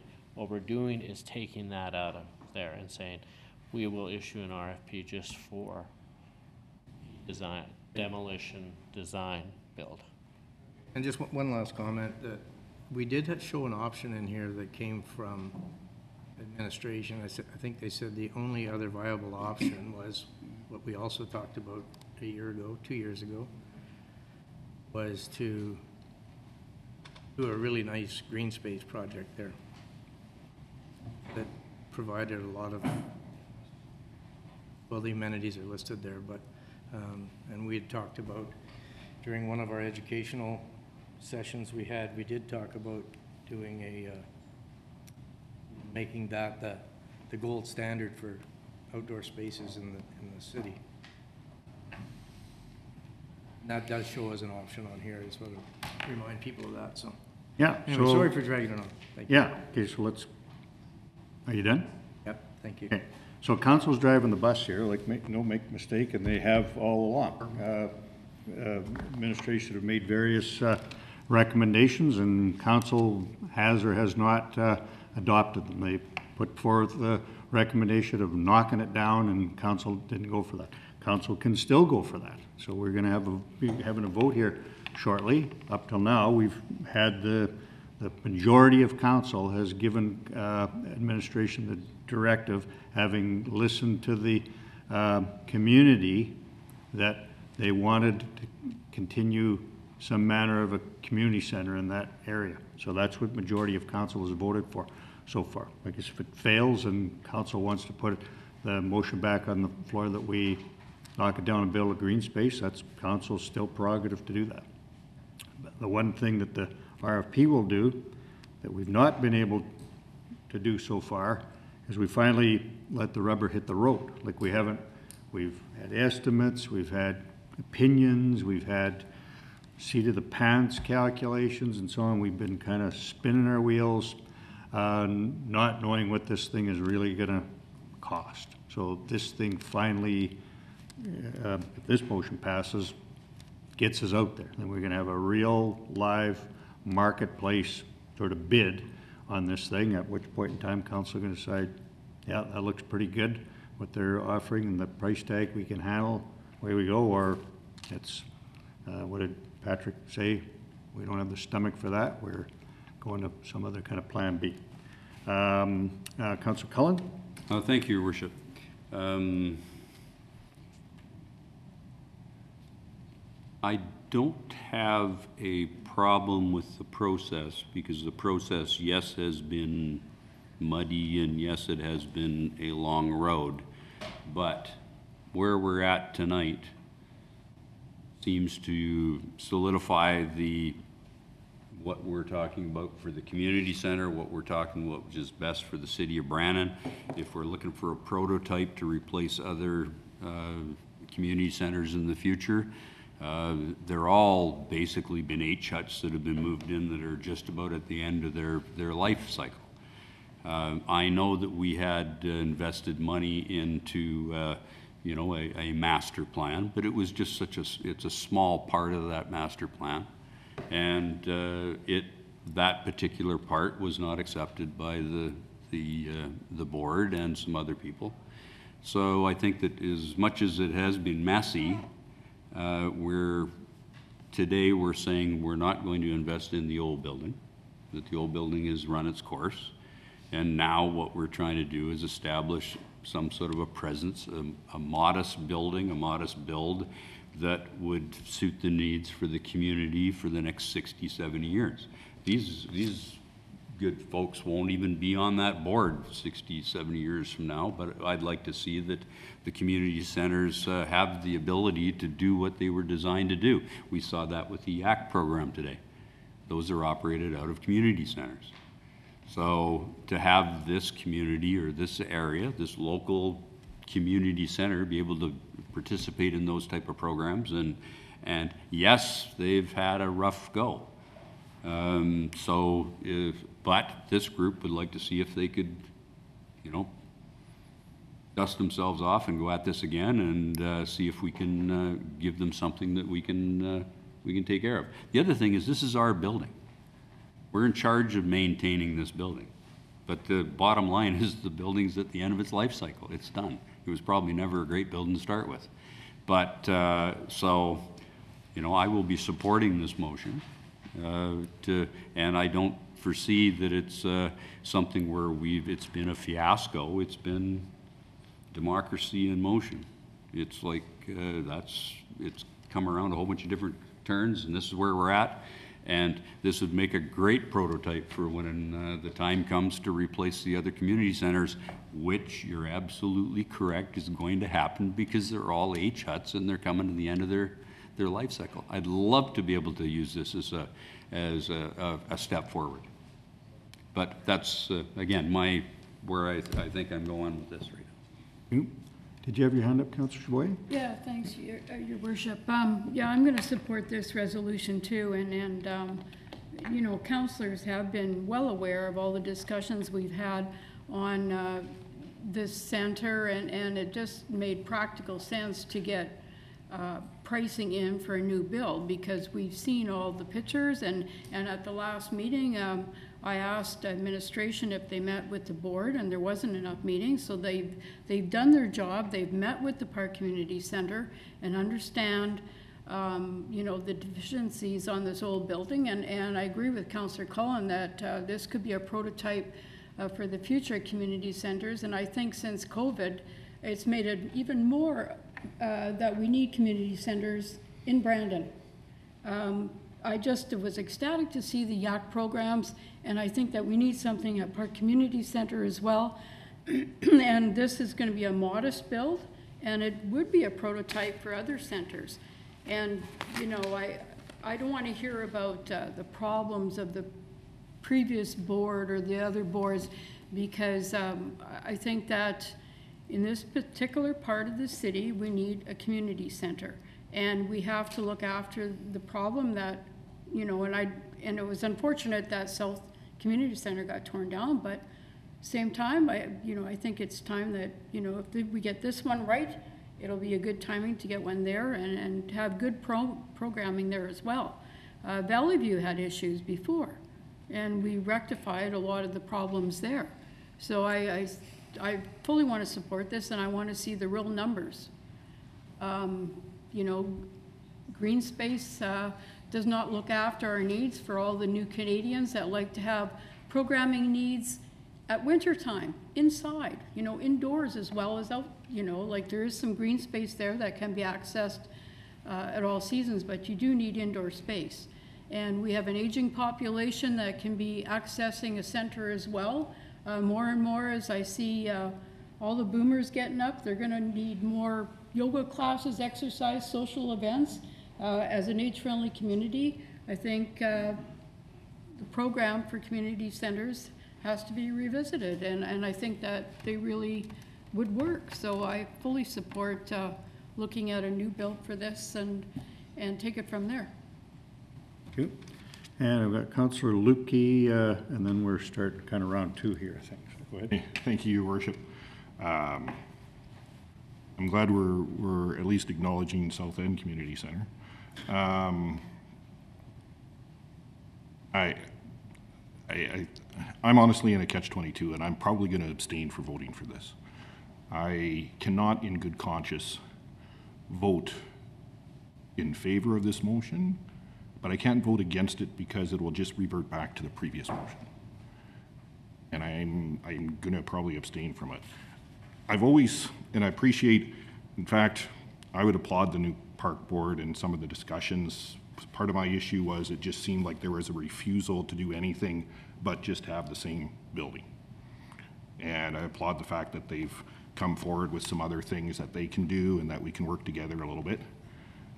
I think the idea that this is a prototype to build new community centers is ridiculous.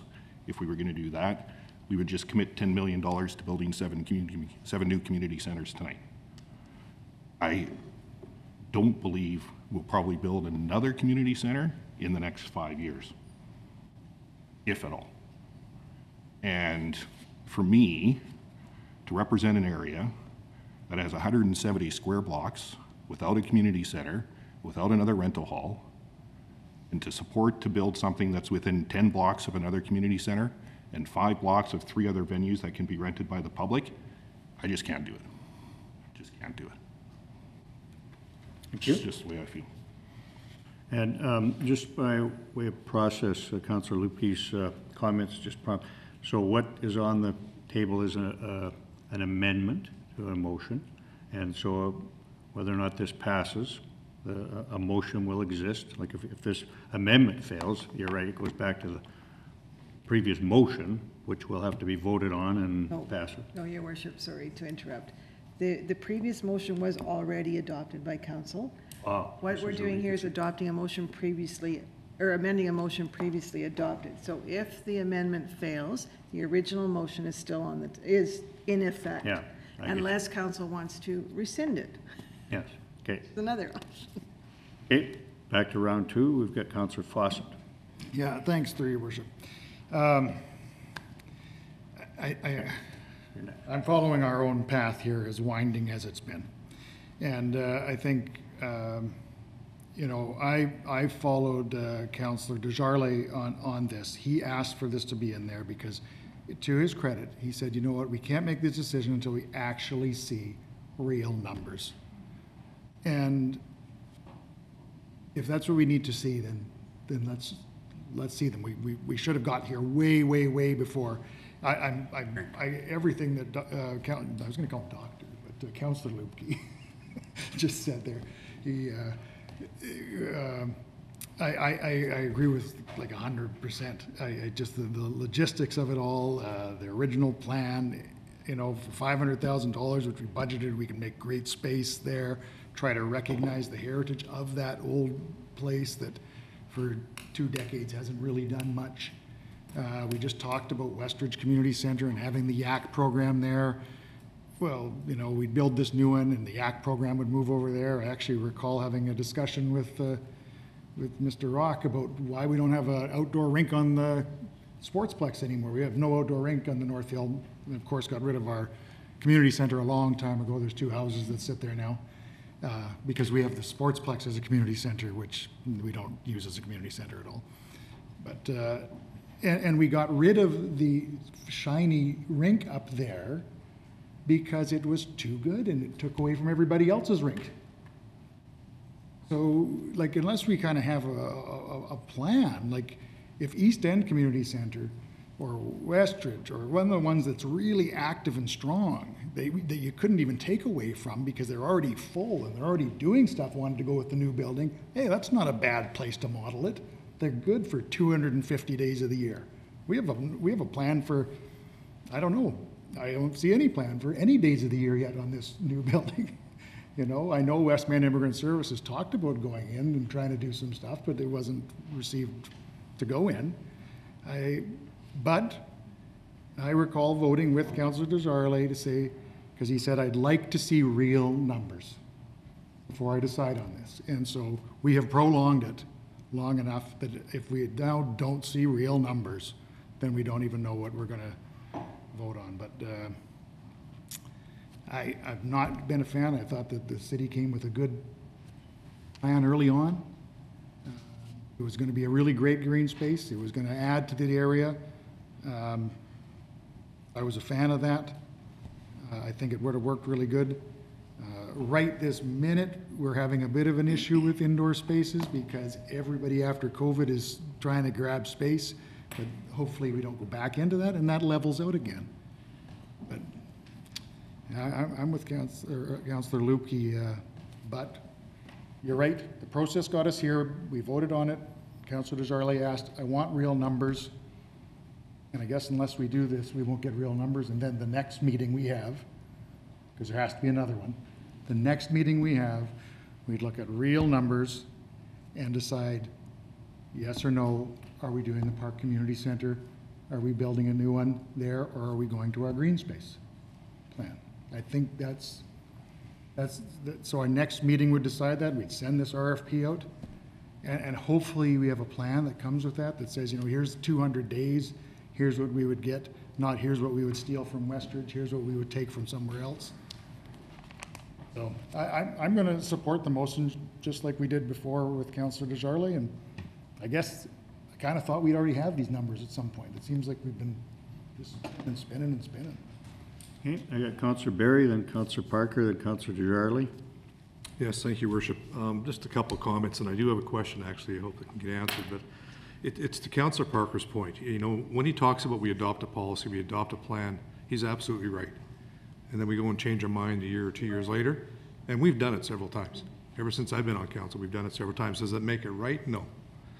If I can take a line from Captain Jack Sparrow, it's not really like the pirate's code, it's more of a guideline. And that's kind of what the, we're getting with the, the plans of that, is the guideline. Um, I was one that voted in favor of the new recreational plan. I'll be honest with you. There was stuff in there I didn't like. The community centers was one of them, and what they were planning on doing there. But do I vote against everything else because there's two things I don't like in the plan? Um, It just didn't seem right. That being said, um, I think, again, we need to see the numbers. We're getting right back to the numbers, whether it's repair or new build. I want to see what it's going to cost. I said that right from day one. And I want to make it known that whether I'm on council when this RFP comes back or whether I'm not, does not guarantee I'm going to vote in favor of it. But I want to see them. Want to see what they're going to be. I'm not promising you that I'm going to be in favor or not in favor or whatever. My question is, with the demolition of Park Community Center, uh, I don't think the rezoning changes, but with a new build going up there, does it affect anything with conditions of the new build? Because the one thing I know we had a problem with at Westridge and, and, and Park does is parking. So when we put a new building up, is it gonna change any conditions of operation of that building as a community center, i.e. parking, when basically the only thing there is street parking? Because we had the same problem at Westridge until we moved the rink. That, so, uh, I mean, I don't want to commit a whole bunch of money to something after we tear down the building, we find out we can't even do. Well, we'd certainly have to get that answer before. Yeah, and that's kind of my, my question. I don't know if Mr. Bowles or Mr. Rock have that offhand. uh, I, I, I can help you out, Perry, unless you get an answer. Well, through you, your worship, to Councillor Berry, we are limited in the amount of green space that we do have in downtown now. We haven't got the required green space that we should have through our, that area of the city. It is all on-street parking, okay? So we wouldn't take green space and turn it into a space for the automobile because there's parking throughout all of downtown. But there may not be drive up to the front door parking. You may park two blocks away and walk to the community center. Follow up, your worship, and that's, that's fine. My question is, will it have an effect on the permit being issued to have a new build and park because there is no parking? My Benja, th- understanding, We're going, like, that's been a lot of years since park was built. Things have changed. my understanding, I don't think it will because Okay, it that's already what I wanted to exists know. with uh, parking, on-street parking in the neighborhood. Okay. Okay, and Counselor Parker, then Desjarlais. Uh, thank you. I just, I'm as guilty as everybody. I'm not sure why we're debating whether we need this or don't need this or whatever right now, because the, the- the whole point was, let's just get this motion on the table and get the RFP so that we know what we're voting on. Right now, we don't know what we're voting on, so we kind of spun our wheels for half hour to get to exactly where we should have got to in 30 seconds. And we should have just, once we had clarification on what the, what this motion meant and what it the consequences were, we probably should have just voted. Okay, Desjarlais and I think maybe Luebke. Well, thank you, through your worship. It feels like we've had this conversation uh, a few times, uh, and we've all said the exact same things every time. Um, So I don't have much else to say, other than, uh, you know, I implore, I hope that council is going to allow the RFP process to occur, so we can let the market tell us what this would look like, envision a different city or not. Um, I don't like it when we get into the ward versus ward mentality here, because that's just not how I think. I'd be in favor of doing this no matter where I reside in the city. I'm representing the city of Brandon, South Center, Victoria, I don't care, it's the city. And I'm representing the idea of the Park Community Center. In my opinion, you know, if it's two million, I'm not voting for that either. I'm not voting for whatever just because I love the Park Community Center. It's gotta make sense for the city. But I am in favor of giving the park board and the people who are behind the park and the idea of the park every opportunity to thrive and be successful and to continue in the city. And whether that's in a new building at the park or, or where it is now, or somewhere else, I think the Park Community Center should still exist somewhere in Brandon. We need to give them that opportunity to do that. So I'll leave it at that. Thank You and Councilor Luebke? All right, I've said my piece, but I am just going to provide a bit of clarity so we can ensure that our RFP is actually correct. Our City of Brandon zoning bylaw does require one parking space for every 9.2 meters square of floor area used for assembly. Which I already had researched on another issue, but that is in there. Okay. Whether we have to do We'll a get that. variance to do this or whatever, but it is Yeah, in there. we'll simultaneously get that looked at by our planning department. Uh, I'm out of speak, oh, Councilor Frangi, sorry. Uh, Without further discussion, your worship, I'll be supporting the resolution tonight. Okay. I haven't spoken too much other than clarify, so I won't. We hopefully get another crack at this, like hopefully the RFP comes back before this council dissolves, but it's not impossible. So I, like Councilor Berry, I hope I'm still on council when this does come back to us. But again, I'll, uh, I could pull good kernels of uh, commentary from each of you uh, tonight and the many other discussions we've had about this, but one that uh, Councillor Cullen just came up with was this was kind of dem- democracy in action, I don't know if that's your exact words. It's a process, and that's the deal in municipal government. We're the closest to the ground. I think that's why we're all here. We're proud to be here. I know I'm uh, always been proud to be at this level. It's um, 19 years for me. I've not been interested in the other levels. And this is why, because we get to be right in the thick of it and right engaged with our community. And as a result, sometimes plans do change. As Councillor Berry said, they're guidelines. We've changed all of those plans, varied all of those plans. We have a process in our zoning bylaws called variation. We account for it. We expect it. So here's an example of that. That's why we get to listen to our community, I think, better than anybody. So this is a great process. Uh, This won't be the end of it. It'll be another step, and um, should this pass, we'll come back to council. Community will continue to be engaged. We'll hear from the community. Some will think that this is great. Some will think that we shouldn't spend our money on this. We're used to that. So, uh, um, quite happy to put this to a question, but I'll never cut council off if you've got other questions or comments to make. I think, I thank you, uh, Mr. Rock, standing there having to witness this, but uh, there's nothing more. I think we're ready for the question then, and everybody understands what the question. It's uh, amending that original uh, motion that uh, basically dictates, well, there's another second motion to this that will come. So this first motion is just the amendment to the original, and then we would require that second motion to sort of clarify what would be in the RFP. Okay. All right, so we're ready for the question on this amending motion? All those in favor? Opposed? That is carried.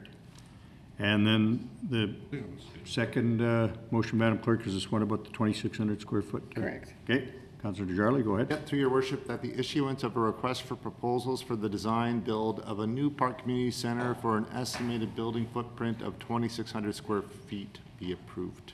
Seconder, please. Councillor Cullen. Move right to speak. Oh. Any discussion? And again, I oh. don't, go ahead, I'm just going to make a small point. On our report, it was 2,500 square feet. The cost estimate, so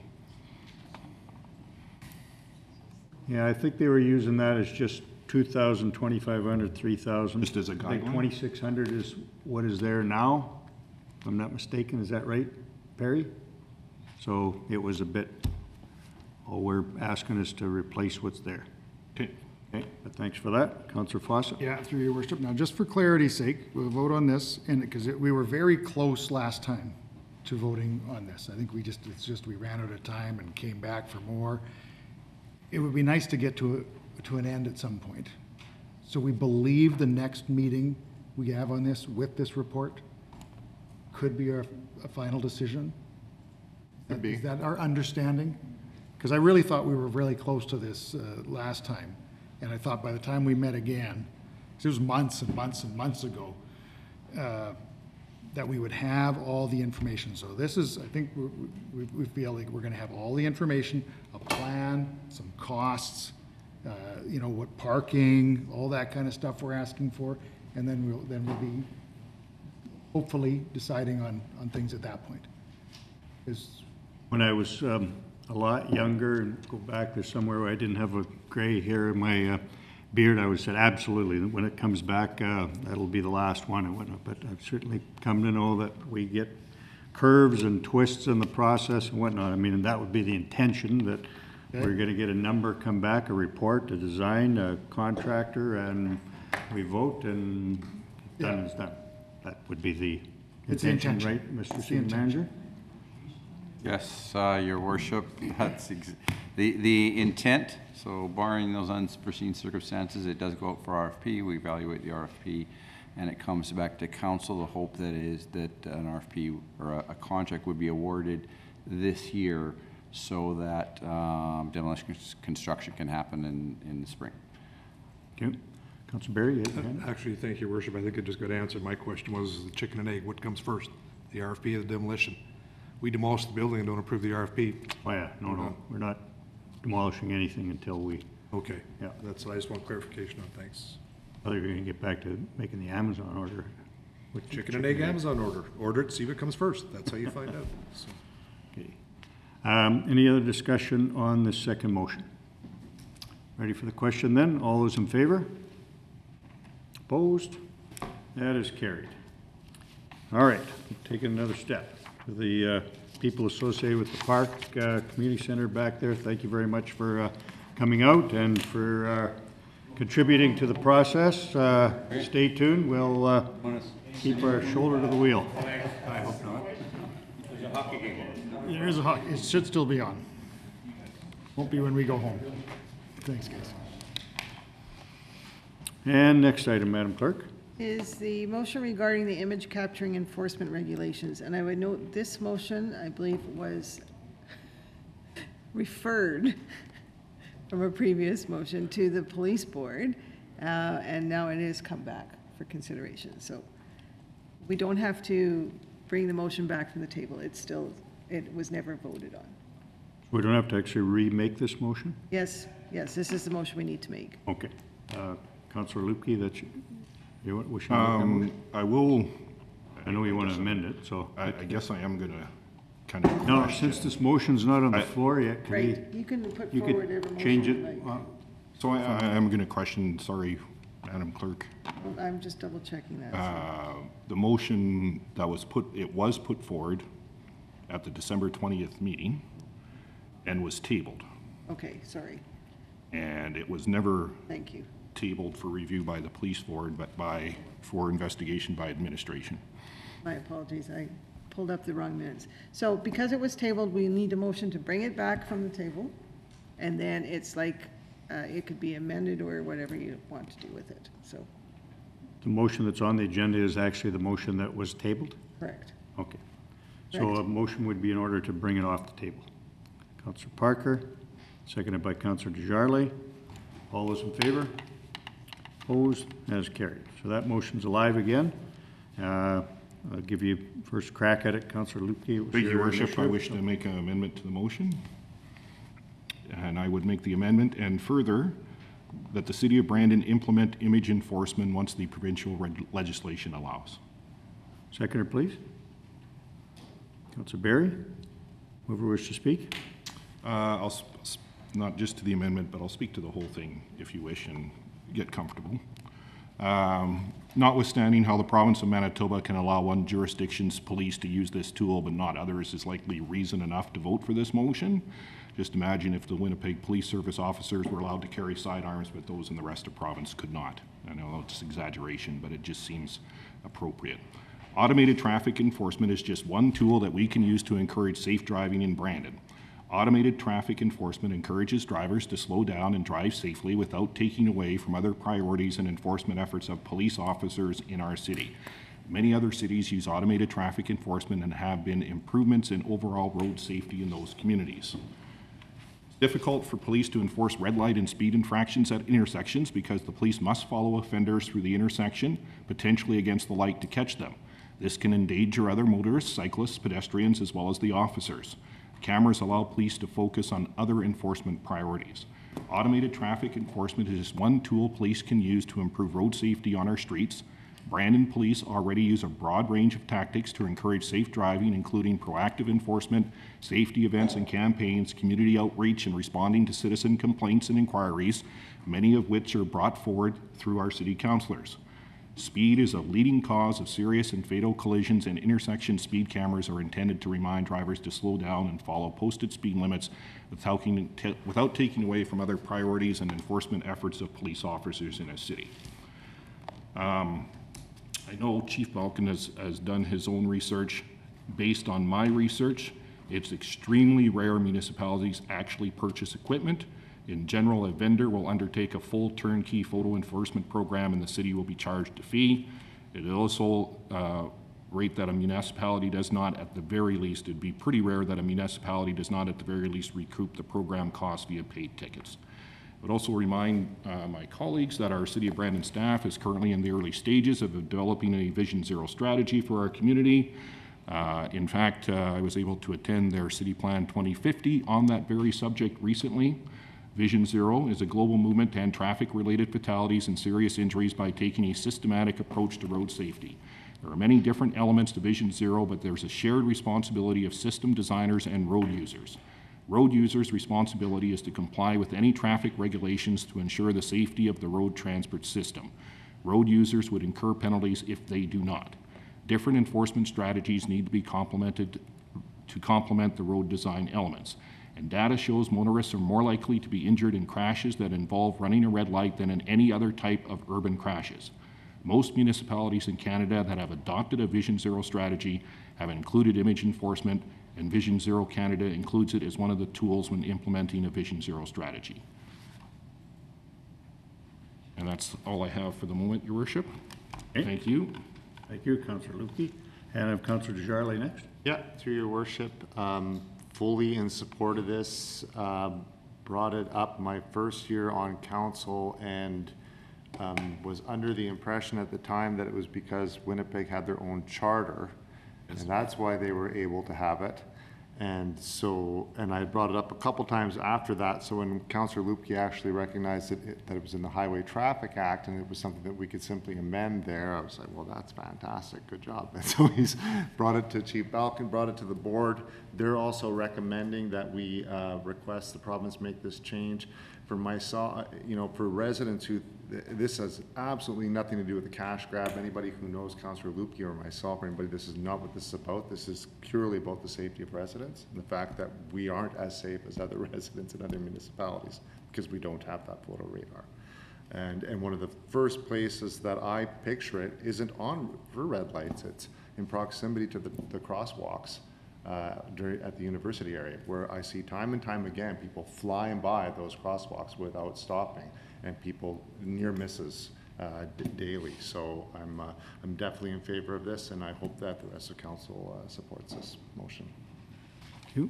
Other, Councillor Berry? Yes, thank you, Worship. Just real quickly, I, I seconded this motion from Councillor Luebke because I brought forth the idea of Vision Zero on behalf of a citizen here in Brandon. It'd be a little bit hypocritical of me if I don't, uh, infor back it when, when one of the recommendations under Vision Zero is to have, uh, um, capturing, enforcement, regulation, image capturing, enforcing. So I do think it's an idea we need to look at. I know we, without getting permission from the province to do it, it's pretty much dead in the water. Um, I just want to state to Councillor Desjardins, the police board does not have a position on this at the present time. We've not stated a position. So until everything comes back, another report, which is really um, not, we're not going to be, I'm- at least I'm not speaking for the chair, but we did not state a position one way or the other on this at our board meeting, so, and that's, that's, that's all I have. Mr. Parker? Thank you. could I just get some clarification on the amendment? Did you say, and to enforce it, like for us to start utilizing it right away, or just getting the authorization to do so?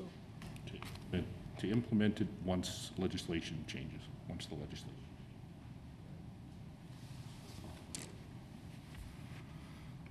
Okay, other uh, hands up? Uh, I'm going to weigh in, uh, uh, again, to that last point, uh, Councillor Parker. I I would say that Councillor Luebke is at least um, verifying, or that council, should we vote for this, would at least be signaling to the province that we would be intending to utilize this tool were granted to us. Uh, The other one was a little bit, all we wanted to do was just see if we could have it. You know, it's only because so far, we're not allowed to have it. We're not saying we're going to use it, but we wanted to know we could have it. So that would have been a bit of a hollow uh, request to the province, so at least this uh, clarifies this. So I'm going to speak to, I guess, the overall issue as Councillor Luebke did. And first of all, I want to, you know, really applaud Councillor Luebke, uh, as he always is extremely uh, well-prepared and thoughtful, and, and, you know, this is certainly no different, and he's done a tremendous amount of research, obviously, on his own, and, and brought a lot of tremendous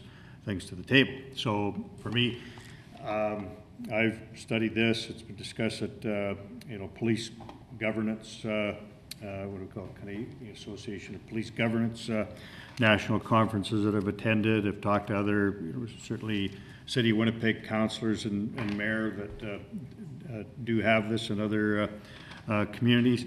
And it is complicated. You know, I, I'm certainly all for enhancing safety. Uh, and that, you know, would be the impetus of, of this, as Councillor Desjardins also kind of indicated.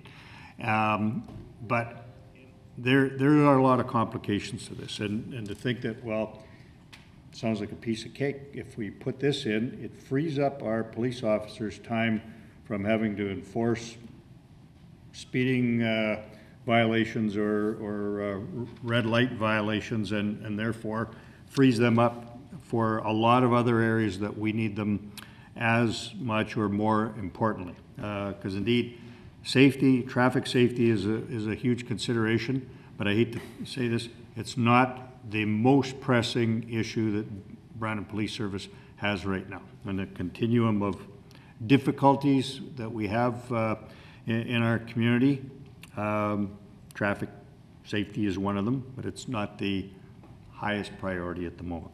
So to think that we're going to free up all the police time would be desirable, but that's not the way it tends to work.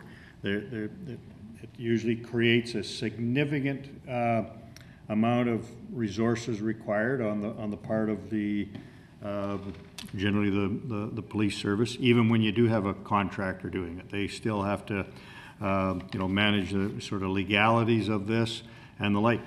And then it, it's, uh, well, we don't consider it a cash grab. The, the, the people do, and what's often cited is that it becomes yet another more significant tax on uh, less affluent people. People that are more affluent, suddenly, if you're caught speeding with the red light camera, like there is no, other than paying the dough, there, there's no uh, infractions on your license, there's no consequence. So if you can afford to pay the, pay the bill that just comes in the, in the mail, you're, you're kind of off the hook.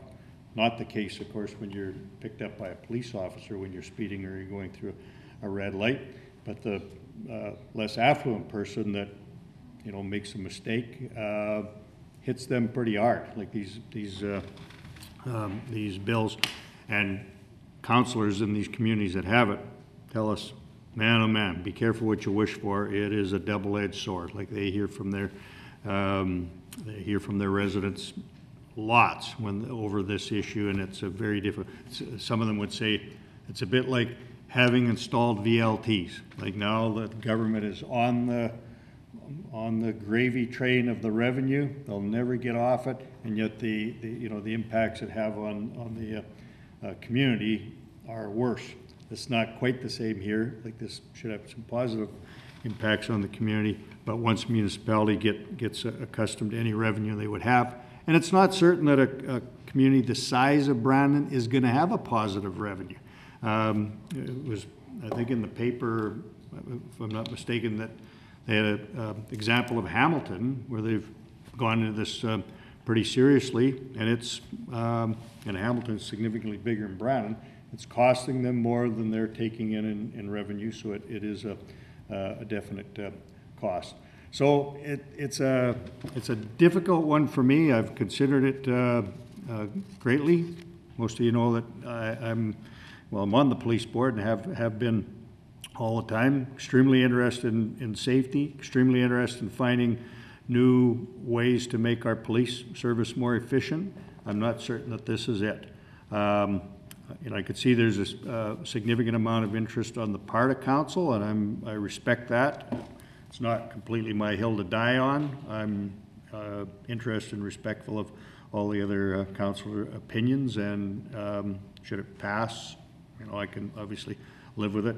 I personally will not vote for it, only because I, I believe it will potentially provide more complications to our police service than it will relieve them of.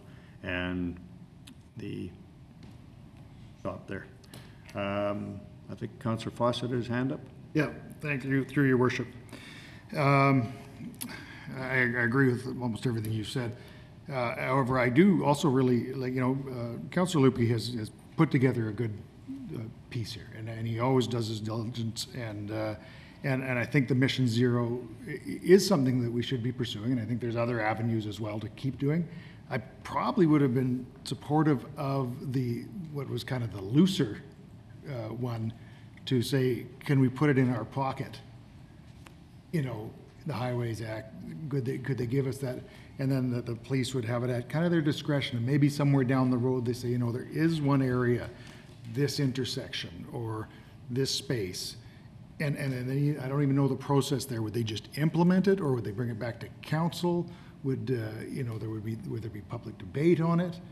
I, I don't really know what that process is. Um, Like that being said, the Highways Act, they, they, they, the highways, I imagine, could put them at 18th and, like any of our, can the highways not do that? Like on the highway? No, so inside, like, just because it's inside city limits? Yeah, I think we're the traffic authority of- inside the city limits anyways. Inside the city limits, oh, well, yeah, that's been debatable on 18th and Breakers for uh, quite a number of years, but uh, we- we do know that we're working together there now.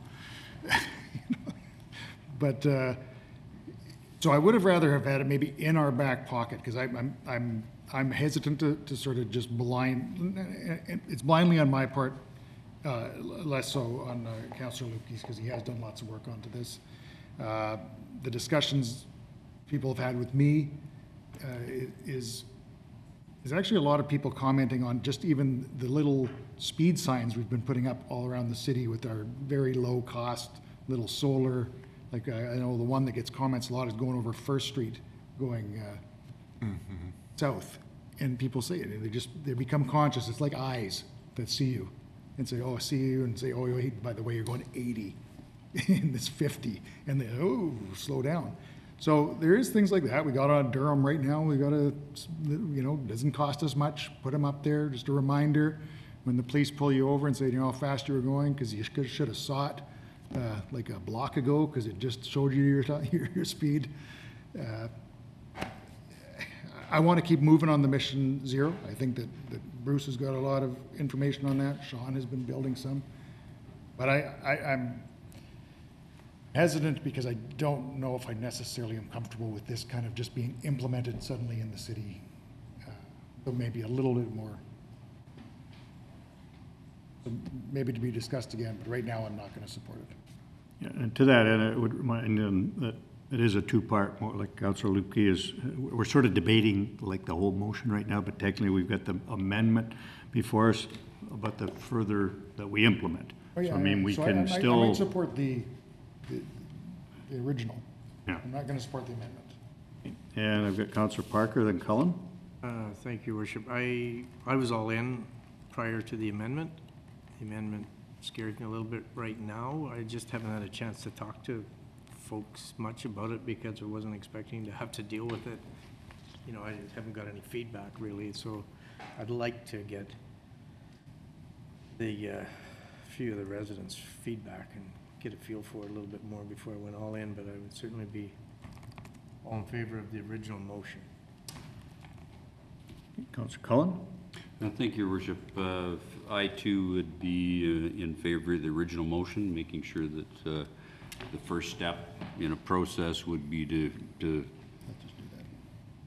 work with the province and see if we could get this uh, as one of the tools if we require, or once we've done due diligence and sort of found out how much these things cost and, and contracts and all those other things. I think the same thing, uh, the, the police board was struggling with that as well because they uh, uh, had no idea, well, how many cameras you have to buy? Do you have to buy 10 or do you have to buy 200 of them? Or what's the contract? What do they, what's their cut? How much do they take off each ticket? What, uh, you know, those kind of things. Uh, I found that uh, even working with our downtown association and uh, downtown parking, uh, it, it was recommended that we look at some of the machines where you could actually pay by credit card and all this other stuff.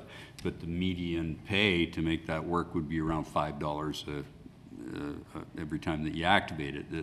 So our community just isn't big enough to do that. We're, we're still at nickels and dimes and quarters uh, the, in order to, we'd never be able to cost recover some of the function.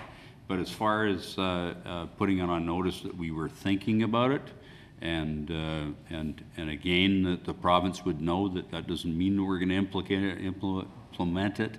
Uh, However, we do want this tool to be available should the time come, or once we get the information, or once our brains are loaded to find out exactly what, what's the cost, like, you know, I, I, um, I, as well on the police board are going, I don't know, I don't know, I don't have any of the numbers. Like, like, does it, like, what is the commitment on behalf of our police force? Is it two officers to go through some of these files? What is it?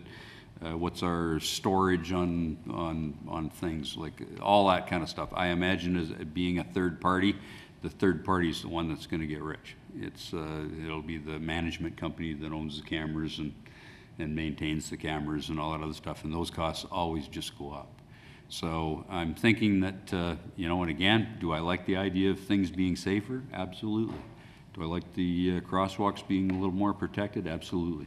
But I'll cross that bridge when I find out uh, whether we're actually going backwards, uh, um, that we're, we're, that we're not getting the bang for the buck that we need. And in order to do that, I gotta get a quote. I gotta get, I have to understand what, uh, what those contracts look like and, and maintenance agreements and things like that. But as far as us going ahead right now and asking the province, uh, that we would like to do this, we'd like to experiment, and we'd like to sort of fly it up the flagpole and see how that works, and find out what our costs would be and get some quotes, yeah, I'd like to do that.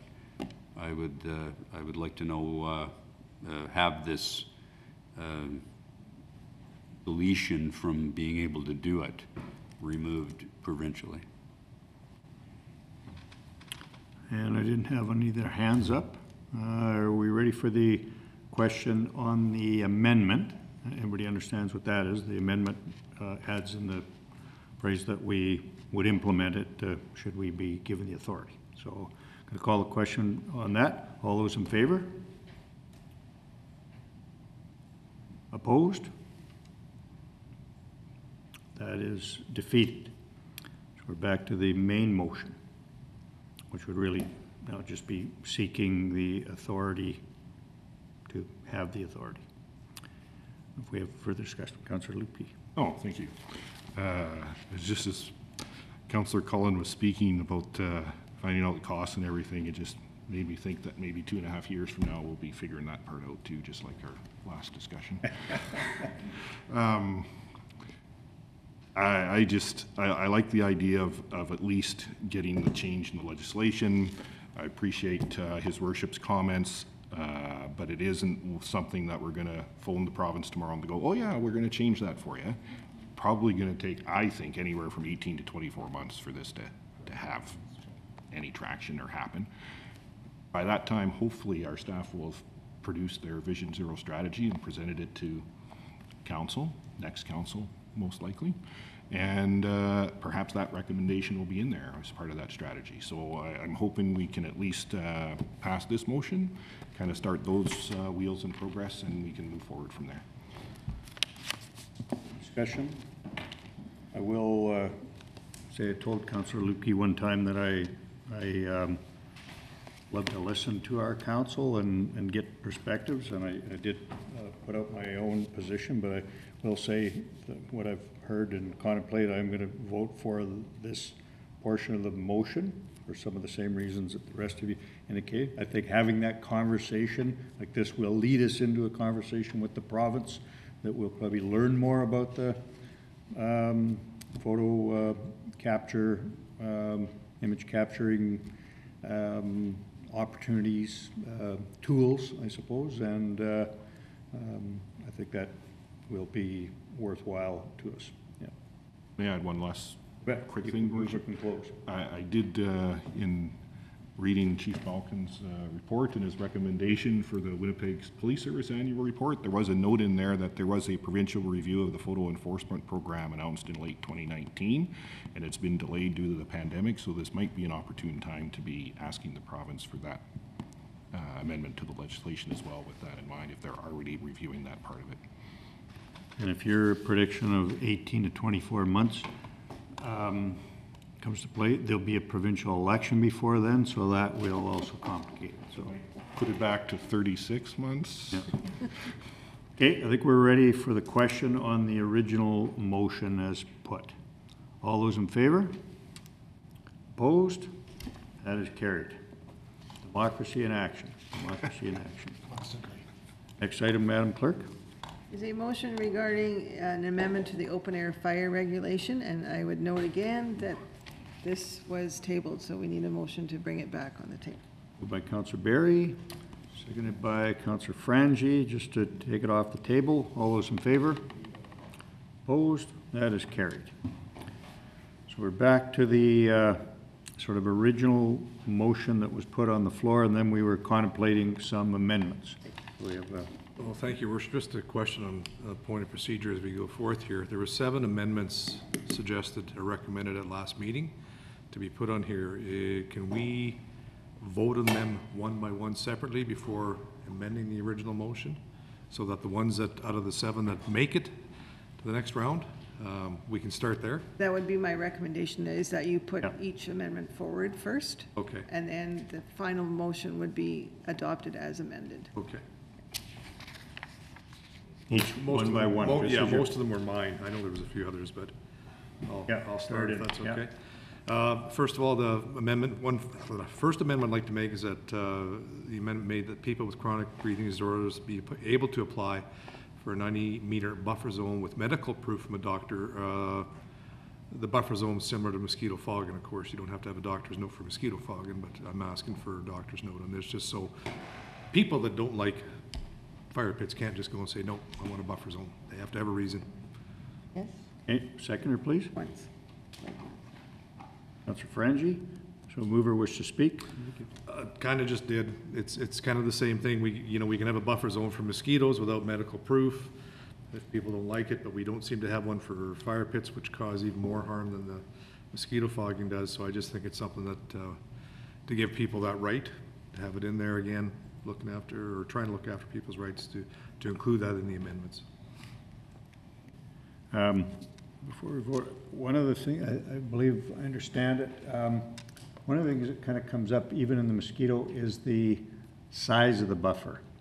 Um, Had you given any thought to that, Counselor Berry? Uh, You obviously have given some thought to this, perhaps more than I've had. It does get, as you've heard on the mosquito, and even this, like ninety meters is quite a ways in every direction, as we've even had. Um, And I, and I know smoke can You know, sometimes you can get a whiff of smoke from a mile away and it could bother you, so I'm not sure if that would be a factor. Quite honestly, I, I didn't give it any consideration. I kind of modeled it just after what we allow for the mosquito fogging. That's where I got that from, so. I Okay. figured, you know, fair is fair. I'm just Yeah. kind of looking at both. Counselor Fawcett? For- Just out of curiosity, because it is, like it is versus the fogging, which is kind of everywhere, and the, and the fire pit, you know, ninety meters from uh fire pit. Well, yeah, because your mosquito fogging is from the point of who's doing the buffer zone, right? So it's from the property. Yeah. So fire pit would be the same thing, from the property. well, if you have a great big property or a big property and your fire pit is in the far back corner, you're, you're, you're very close to some neighbors, but you're a long way away from other neighbors, so do- like, you know, like, so I'm not sure on the mosquito fogging, so follow me, like, if it's from the front, from the property lines, the outside, like perimeter of your property, of your- or is it from the center of your property? You know, but in this case, like, this is where the fire pit is, if it's ninety meters from where a fire pit is put. That You makes, oh, know, just gonna Just be curious. unorthodox. Yeah. Harry, do you know the answer Logistics, I that? know, like- On the mosquito fogging, we take it from the edge of the property that asked for the? Yes. Right, it's from, from edge to edge, yeah. So, so just a comment on this to, to Counselor Foster. Remember the difference in this is, you can't af- ask for a buffer zone just because you want one. I, I agree, yeah, no, so I, I'm, Have I'm to I'm have pretty medical comfortable proof with to that. have one. That eliminates a lot of people right there. Yeah. That won't be able to have a buffer zone. Yeah. Uh, because we get a lot of people applying for buffer zones, which we'll talk about later, for mosquito fogging, that do it just because they don't like it. Yeah. No other reason. And Counselor Luebke? Your worship, I had uh, looked a little bit at this, and I uh, had thought that I might be amenable to a 36-meter buffer zone for But not those 37. that can't convert. It's 100 feet, which is, if we have 50-foot lots, your two neighbors, which goes back to what Councillor Cullen suggested. I don't know if there's an appetite for that. I would make an amendment if there is to this, to make it Okay. 36 meters instead. Your seconder? Counselor Chaboyer? Discussion on the amendment to the amendment? Basically hundred feet, thirty-six meters. Counselor Parker? Um, th- this is maybe a little bit, I'm gonna touch, talk about them all at once, just an omnibus. Comment. No, I ain't doing this. I, I, I agree with uh, Mr. Boyd wholeheartedly. I was thinking about this this afternoon. Um, This is a pretty inexpensive form of entertainment for some families. For some families, it's about all they have right now. Uh, At nine dollars and forty-five cents a gallon for gas, day trips are a thing of the past for many families. Um, This is a, a stay-at-home with something families like to do together, you know, the old s'mores and the hot dogs and the whatever else over the fire.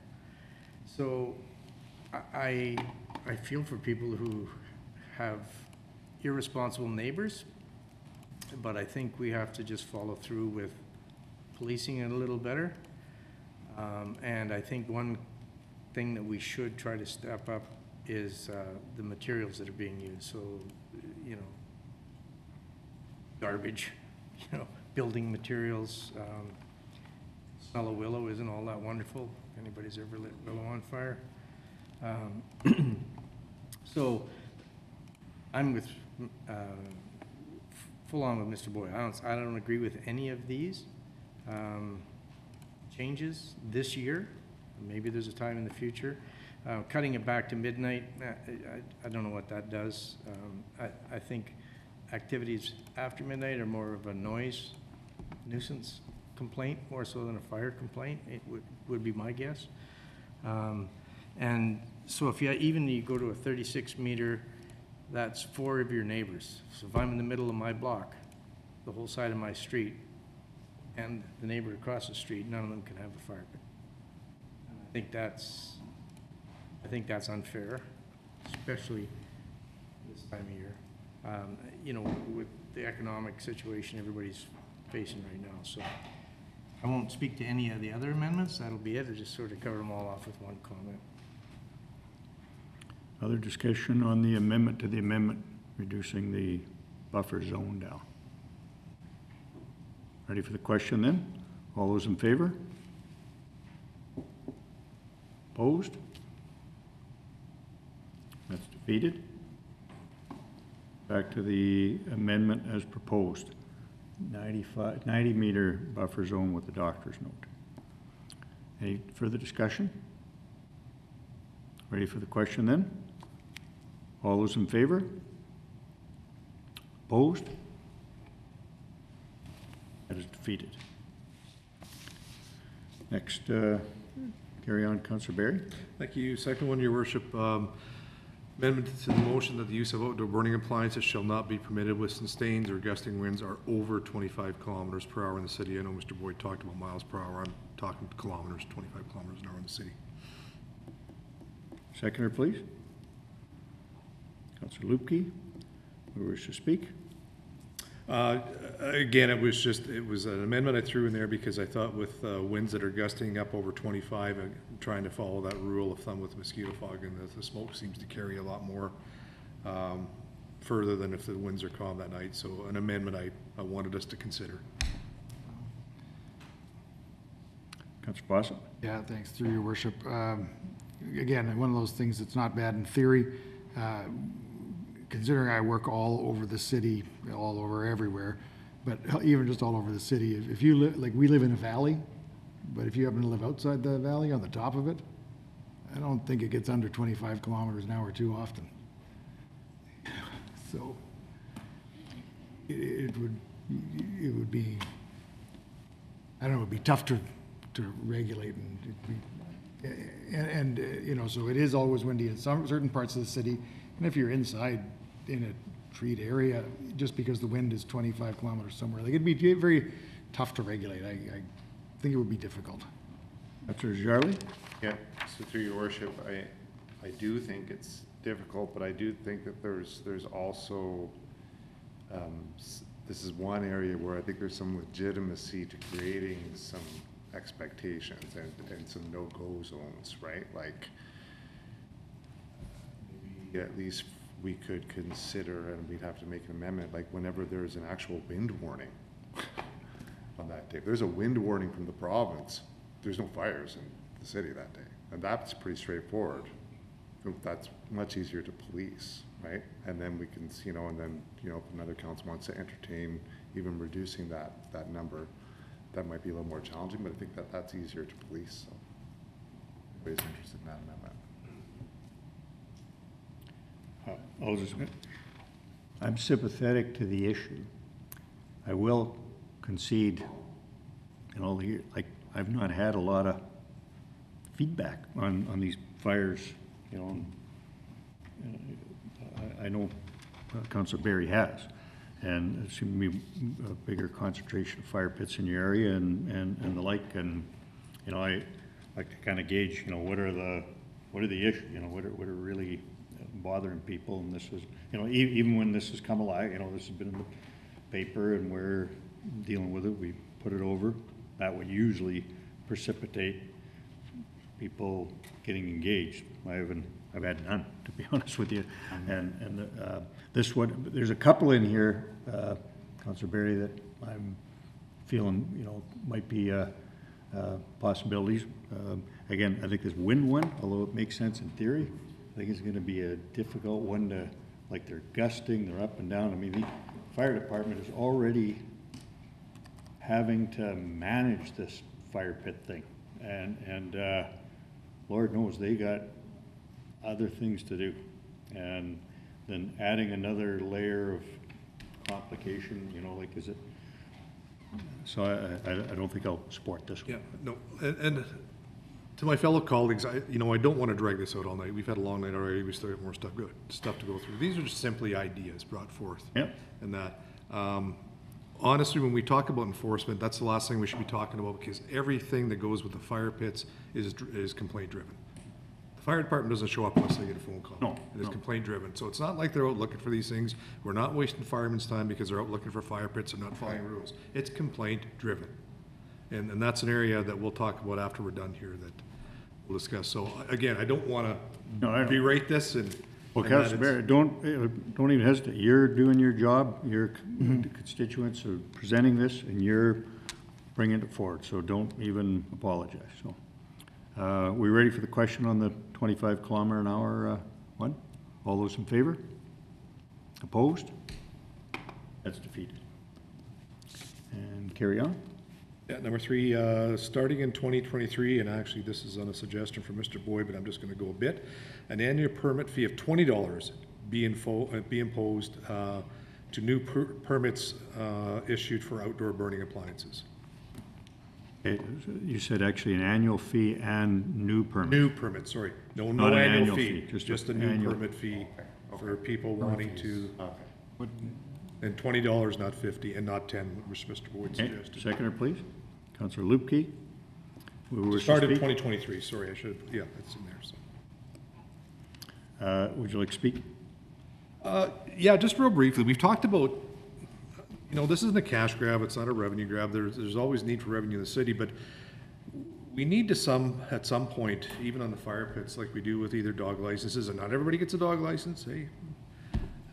And that, we know that, but people now in twenty twenty-three going forward that wanna put a new fire pit in, I think a one-time fee of twenty dollars, uh, we have them on record, as we do everybody else, but, you know, we are taking the time to go out and inspect these and do this and everything else, and we've, we've never charged a fee before, I think it's maybe time we started, and that, and, and that's kind of where I'm gonna leave it at with that, so. Any further discussion? Counselor Luebke? Just, just add that that's a great opportunity to educate new fire pit operators on what's allowed and what isn't allowed, which I know they do already, but there's also a cost with the printed materials or whatever else that you might uh, have associated with There's that. costs, so, yeah. you know. Okay, you ready for the question on this one? All those in favor? Not me this time. Opposed? You said no? That one is carried. Carry on. Uh, thank you. My last one, uh, amended that the hours of operation for outdoor burning appliances be limited from four PM to twelve AM. Seconder, please. Counselor Luebke. And I'm just gonna dial back. What were they before? They were gonna be noon. Noon to twelve. Yeah, okay. And we were, please speak. Yeah, just again briefly, um, this is more of a, a, a personal thing. I like the fire pits as much as anybody does. I do not have one at my home. I do have one at the lake where we put it, you know, we fire it up when we can and that. I just don't see the need, and I have this in my neighborhood, this is why we get complaints, for people to, to turn, to operate the fire pits at ten thirty in the morning, or one in the afternoon, or two in the afternoon. I just don't see the need for it. Comments about it's nice to sit around with a family and have, you know, make s'mores, do that. Yeah, it is, great. Most of that's done in the evening. Why do you need your fire pit going and smoking out the neighborhood in the afternoon? And it, it does, does happen a lot. And, and I get a lot of complaints about it. So I think a period of four to twelve, like an eight-hour period, it allows people to have the fire pit going during a, a supper period or dinner period, and into the evening, long enough that they can sit around, do the family thing or friend thing and that, and, and be conscious of their neighbors. A lot of problems with the fire pits that I know I have in my ward or my area is just, honestly, it's inconsiderate neighbors. That's bottom line, that's what it is. And, and until we can, I guess, educate them some more, we need to start doing some more things in educating, but people gotta realize you have neighbors. And not everybody either, e- never mind likes a fire pit, but has an issue with them because of breathing or COPD or something like that. And, and we need to have a little respect. So I think if we shorten that time, they can operate it, it helps a bit. Um, I have a question for you. There's a, I don't think it's yours, but there's a, another potential one where it limit the length of time that someone can burn to four hours daily. That's- That's not mine. I know, it's- I was gonna ask your opinion.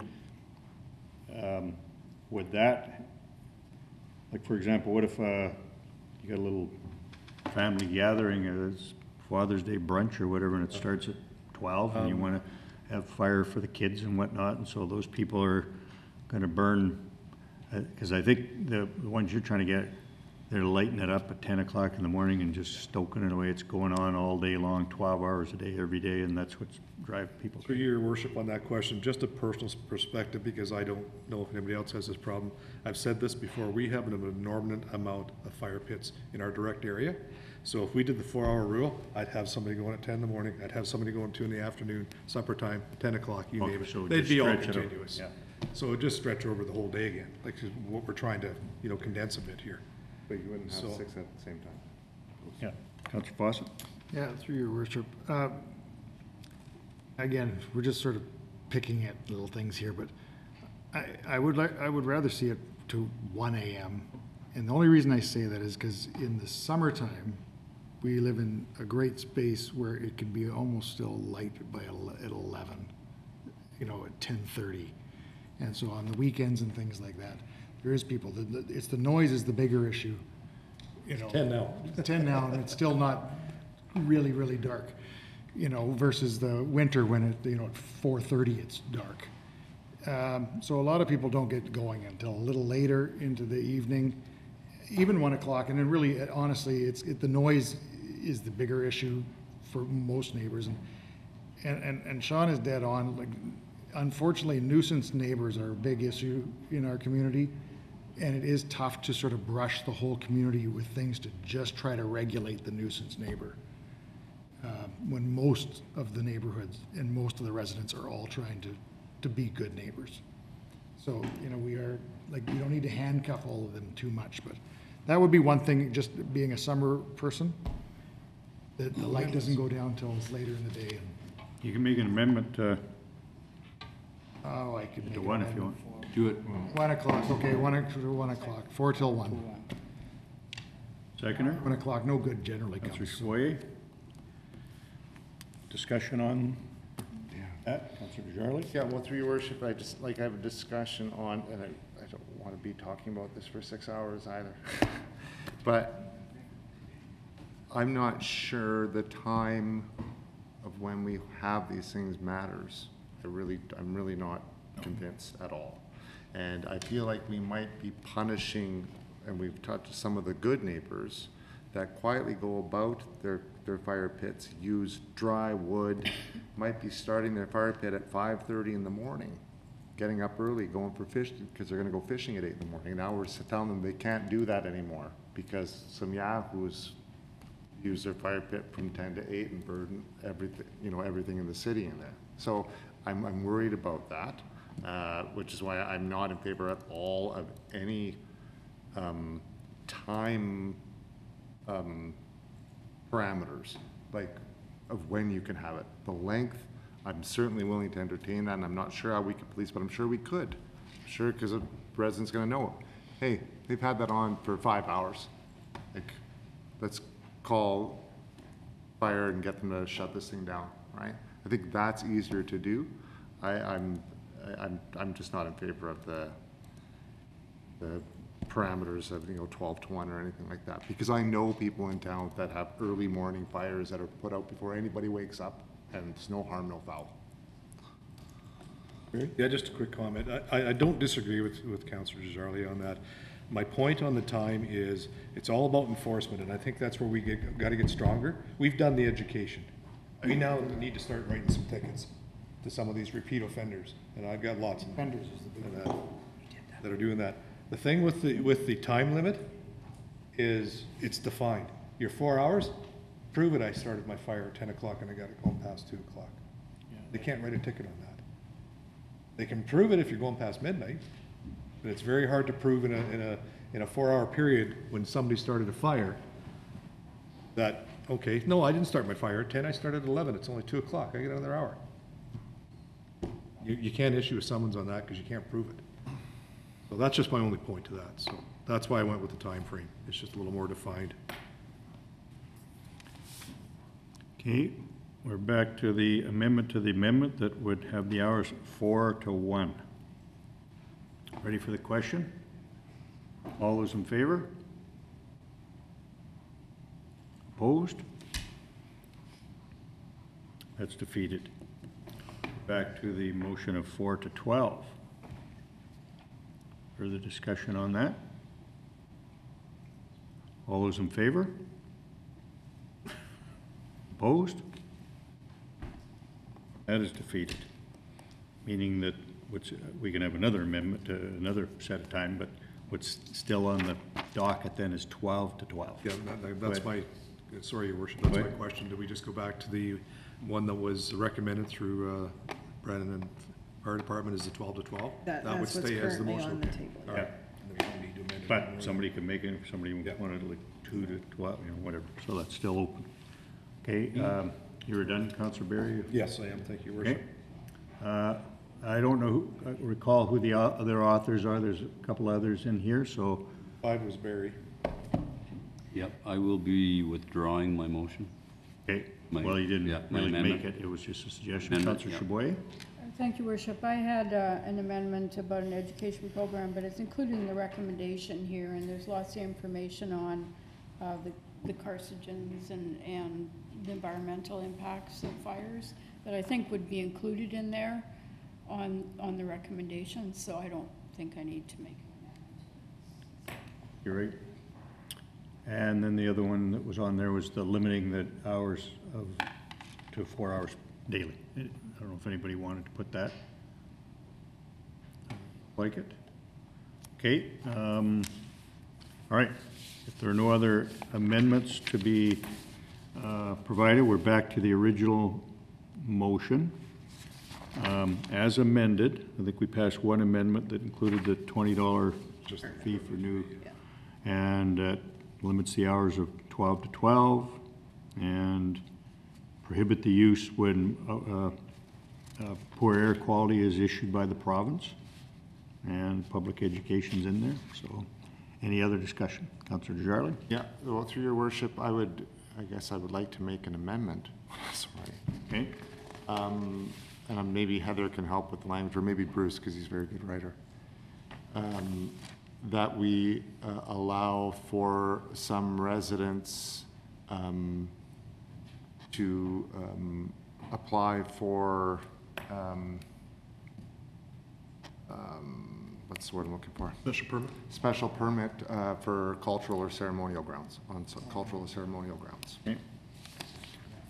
Uh, Seconder, please. Councillor Berry? Again, uh, if you got that, that there be a provision that people can apply for special dispensation. To fall outside the 12 Fall outside to- the hours. to Yeah. 12 A. Okay. Councillor Luebke? For clarity, who would they apply to? Fire department. Fire department. Yeah. Any discussion? Hello, great uh, amendment, in my opinion, I wouldn't have thought of it. Ready for the question? All those in favor? Opposed? That is carried. Now we're back to the original with two amendments. Any other discussion or amendment? Ready for the question on this? All those in favor? Opposed? That is carried.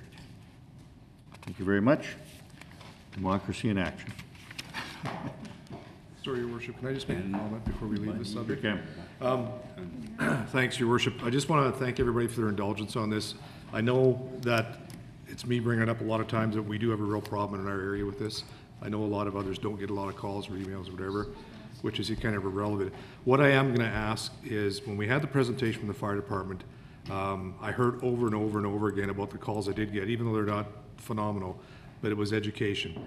And I'm going to ask the deputy chief to please take it back to the fire chief and the rest of the members. And we need to start doing some serious enforcement, and that means writing some tickets and summons. No more education to repeat offenders, because I know there's some out there, because I know where some of them are, and enough education. We got to start getting a little tough with these guys and taking some money out of their pocket, because honestly, it's, it, the whole problem with this is just, uh, people have no concern for their neighbors and don't care how big their fire gets or what they're burning or who it bothers, because it's their right to have one.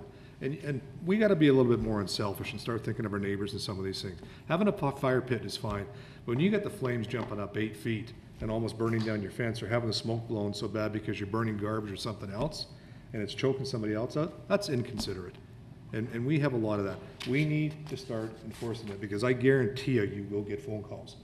And if I find out they're not being followed up, I'm gonna be coming down and having a chit chat with you guys down there, so. So that's all I have to say, so, thanks. Okay, thanks for that. And next item, Madam Clerk. Is an application to subdivide 1928 McDonald Avenue. Okay, Councillor Desjarlais, please. Through your worship, I move that the planning commission recommend Brandon City Council approve the application to subdivide nineteen twenty-eight McDonald Avenue in the residential lows, uh, uh, sorry, to create one lot in the residential low-density, uh, area, subject to the owner or successor One, submitting $336.52 to the City of Brandon Planning and Buildings Department as a cash in lieu contribution to public reserve purposes. Two, submitting written confirmation to the City of Brandon Planning and Building Department that the Brandon School Division uh, has received $283.50 as a cash in lieu contribution for school purposes. Three, provide written confirmation to the City of Brandon Planning and Buildings Department that taxes for the property to be subdivided uh, for the current year, plus any penalty, interest, and arrears have been paid in full, or arrangements must be made satisfactory to Brandon City Council. Four, submitting written confirmation to the City of Brandon Planning and Building Department that arrangements have been made for an easement agreement and plan of easement to the satisfaction of Manitoba Hydro and registering the easement agreement along with the easement plan if required in series with the plan of subdivision. And five, submitting written confirmation to the City of Brandon Planning and Buildings Department that arrangements have been made for addressing of the subdivision to the satisfaction of the City of Brandon Real Estate Administration. Seconder, please. Counselor Frangi. Um, This is going to drive the city clerk crazy, but I'm going to immediately make a amendment. That The first line reads, based on the planning commission's recommendation, comma, that Brandon City Council approve the application. So, your worship, if I may, we can treat that as a typo, and the, the recommendation, or the motion would be that the application to subdivide, blah, blah, blah, be approved, Yeah, subject to. because it was not really a No, sound I motion. don't, that was a Okay. technical error by planning. Okay, well, I'm fine with that. Normally, you wouldn't allow me to do a friendly amendment. They don't exist, so I I'll was let going to you. do it properly. We'll let you Okay. do that. So if that's the case, then I'm fine. Back to the motion. Uh, Mover wish to speak, or did we uh, need, um, this fairly straightforward, but Through your worship, I, I thought this was a pretty straightforward subdivision. Yes. I know, again, and, and uh, I think Mr. Pulak is available for questions if we had any. Appears we don't, much as he loves to speak with us, but uh, I think we're going to call for the question then. All those in favor? Opposed? That is carried. Thank you. Next item, please. The cessation of train whistles on the Canadian Pacific Rail Line at 34th Street. Desjarlais. Thank you, through your worship. Before I bring this forward, did, was it, did a council bring this to administration, to bring up, or is this like administration doing this on our behalf, or like just for the goodness of residents? I did uh, raise it with administration some time ago. It's something we routinely done. Um, Only I knew when I first became a counselor in 1995, I worked, we had the whistles ceased at 26th Street. And, you know, we got to have the proper crossing and and so on and so forth. And now that we're building another such one, we're eligible to do that. So engineering's bring this forward as a normal practice.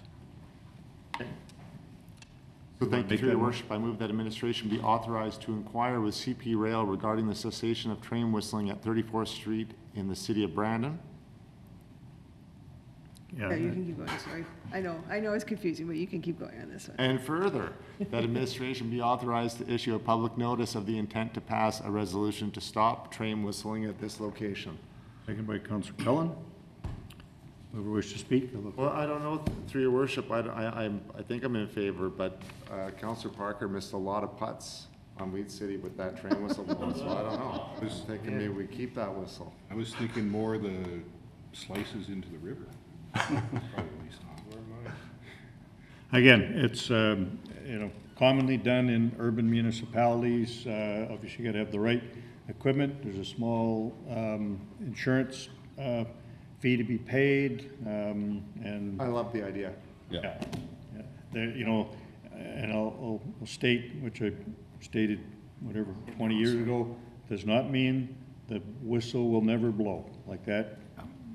Um, Engineer is still, if he sees something, and he, she sees something uncomfortable at the track, they're gonna be hammering on the whistle to warn people, and that's there. But other than that, I mean, the- there's still the bells and the arms and everything else is, you know, highly protected, so it's. Any other discussion? And we could add, this is kind of on the, on the uh, dividing line between Councillor Cullen's ward and, and Councillor Cameron's ward. Councillor Cameron right here. Go ahead. Um, Thank you, Your Worship. Uh, I think that uh, the whistle and the bells and the flashing lights would be an overstatement of what has to happen there. So uh, those, the bells will ring and the arms will come down and everything. So the, uh, I don't believe that we need the whistle at the same time. So I think that it would be, uh, that would be prudent to remove one of those, uh, those elements, especially for the people living right there, right at that, that intersection. Okay, we won't be, there's still another crossing, uncontrolled crossing at 50th Street. We'll still play with the golfers uh, out at that end of the uh, golf course because they'll start blowing that about the 18th uh, hole there, I suppose. Move it back a bit. Ready for the question? All those in favor? Opposed? That is carried. Next item, please. As per Councillor Desjarlais' notice of motion, we consider an amendment to the notification requirements for downtown parking bans. Councillor Desjarlais? Thank you, through your worship. I move that administration review the notification requirements for downtown parking bans, provide possible amendments to the traffic bylaw, uh, number 5463 for council's consideration. Seconder, please. Councillor Cullen, whoever wishes to speak. Very briefly, your worship, um, we don't have to make a decision today, but um, currently we provide uh, 24-hour notification, uh, no parking in the downtown for events. Um, In my, um, in my uh, belief and in many uh, business owners' uh, positions, uh, it's, uh, it's unnecessary and could be causing, uh, you know, undue uh, hardship to uh, businesses in the downtown. And so I'm hoping that uh, administration can have a look at the bylaw and see if we can't make some amendments uh, that shorten that duration while still ensuring that we're, you know, upholding our, you know, our, our responsibilities uh, under uh, a traffic bylaw to, you know, allow enough time for residents to remove their cars on a no parking ban.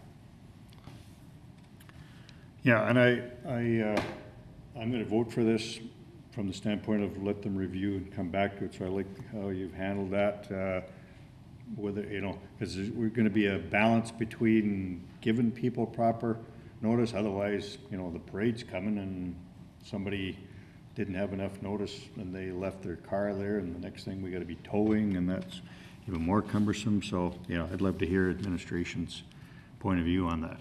And if they're opening up that bylaw, I noticed that horses are Yes, I saw that included in too. this thing that, uh, like- I might wanna see us, is- Yeah. we needs to be allow heavy. horses back on, cause I'm ready to ride again.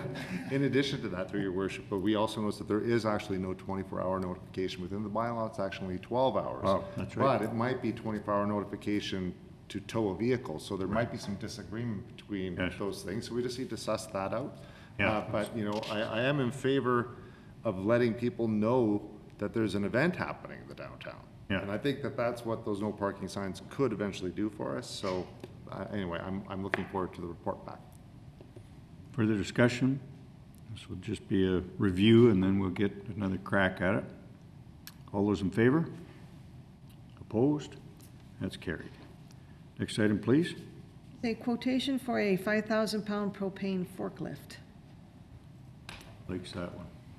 Counselor Luebke, go ahead. Thank you, Your Worship. I move that the bid from Toromont Material Handling, a division of Toromont Industries Limited, to supply a 5,000-pound propane forklift as per quote and specifications, a cost of $41,730 net of GST be accepted.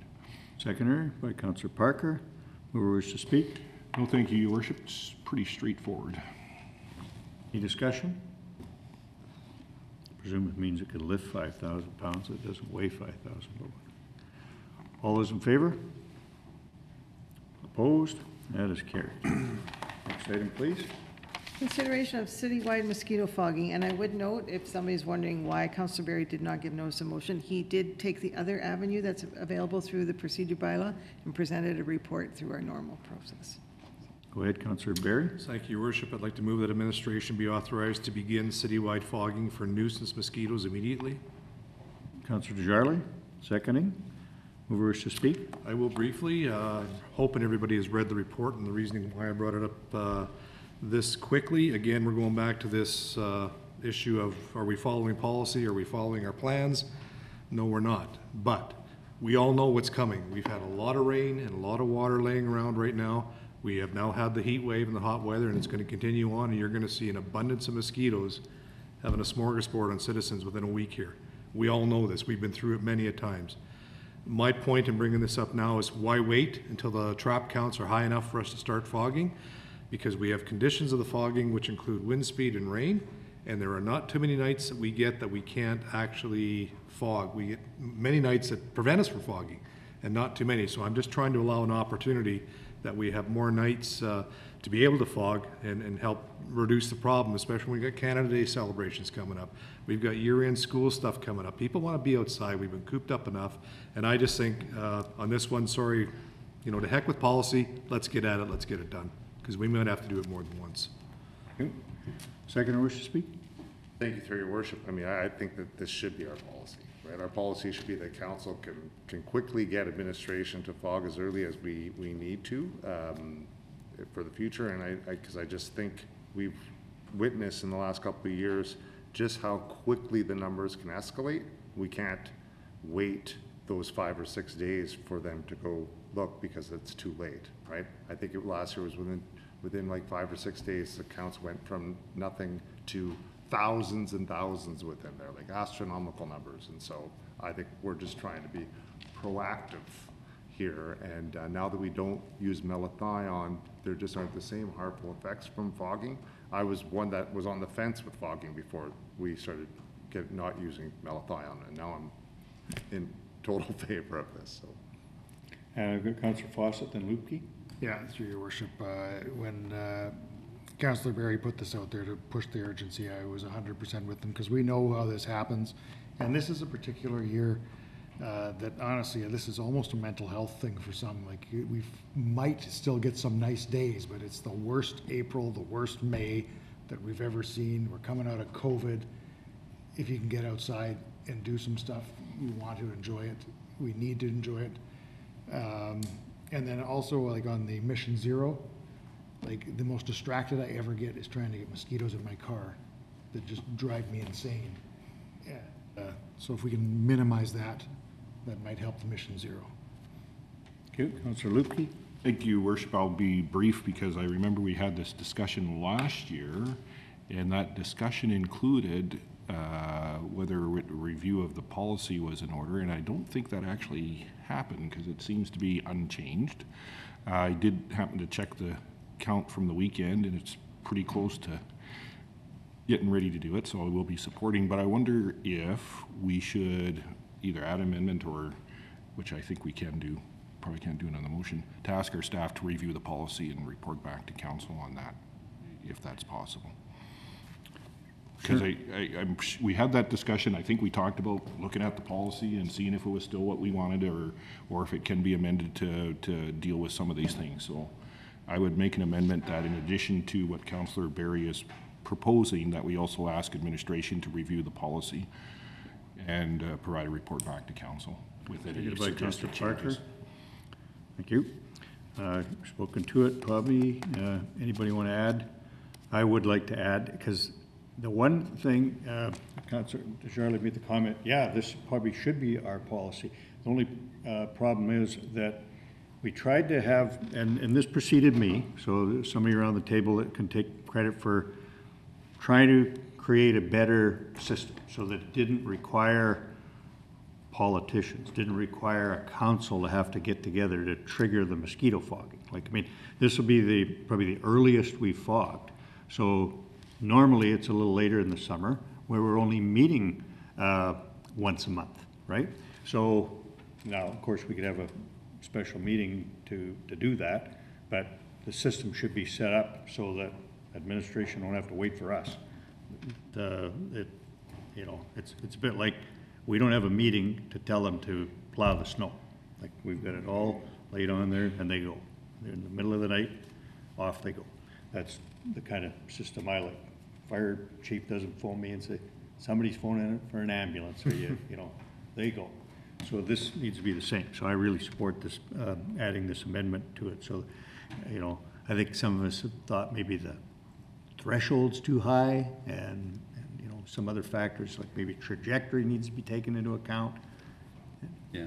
Frequency, I think, is another one. That's the ones we were talking, yeah. So, uh, so again, I, I like that addition because I think we need to clean this up so that it doesn't rely on us having to get together and we're the scientists now, we're making the, that kind of call. We need to bake that in, so. uh, Councilor Parker? Yeah, thank you, Worship. Yeah, I, I, I'm again all in on this one because of what everybody's going through. A lot of people are stuck at home. Gotta do what we can do. Not much we can do about nine forty-four gallon gas, but we can make their backyard more comfortable. So, let's get it done as quick as we can. Uh, We still may see a bit of a delay. Don't we have rigs off being calibrated That or was my something? I next mean- question here, as soon as we're done. Yeah, and I, I was a little worried about the, the terminology when you you ended with it immediately. Could that, could mean tonight. Uh, But, you know, to me, as soon as possible. Yeah. But, uh, yeah. But uh, back to this amendment about the uh, reviewing the policy and reporting back to us. Ready for the question? All those in favor? Opposed? That is carried. Back to the motion as amended.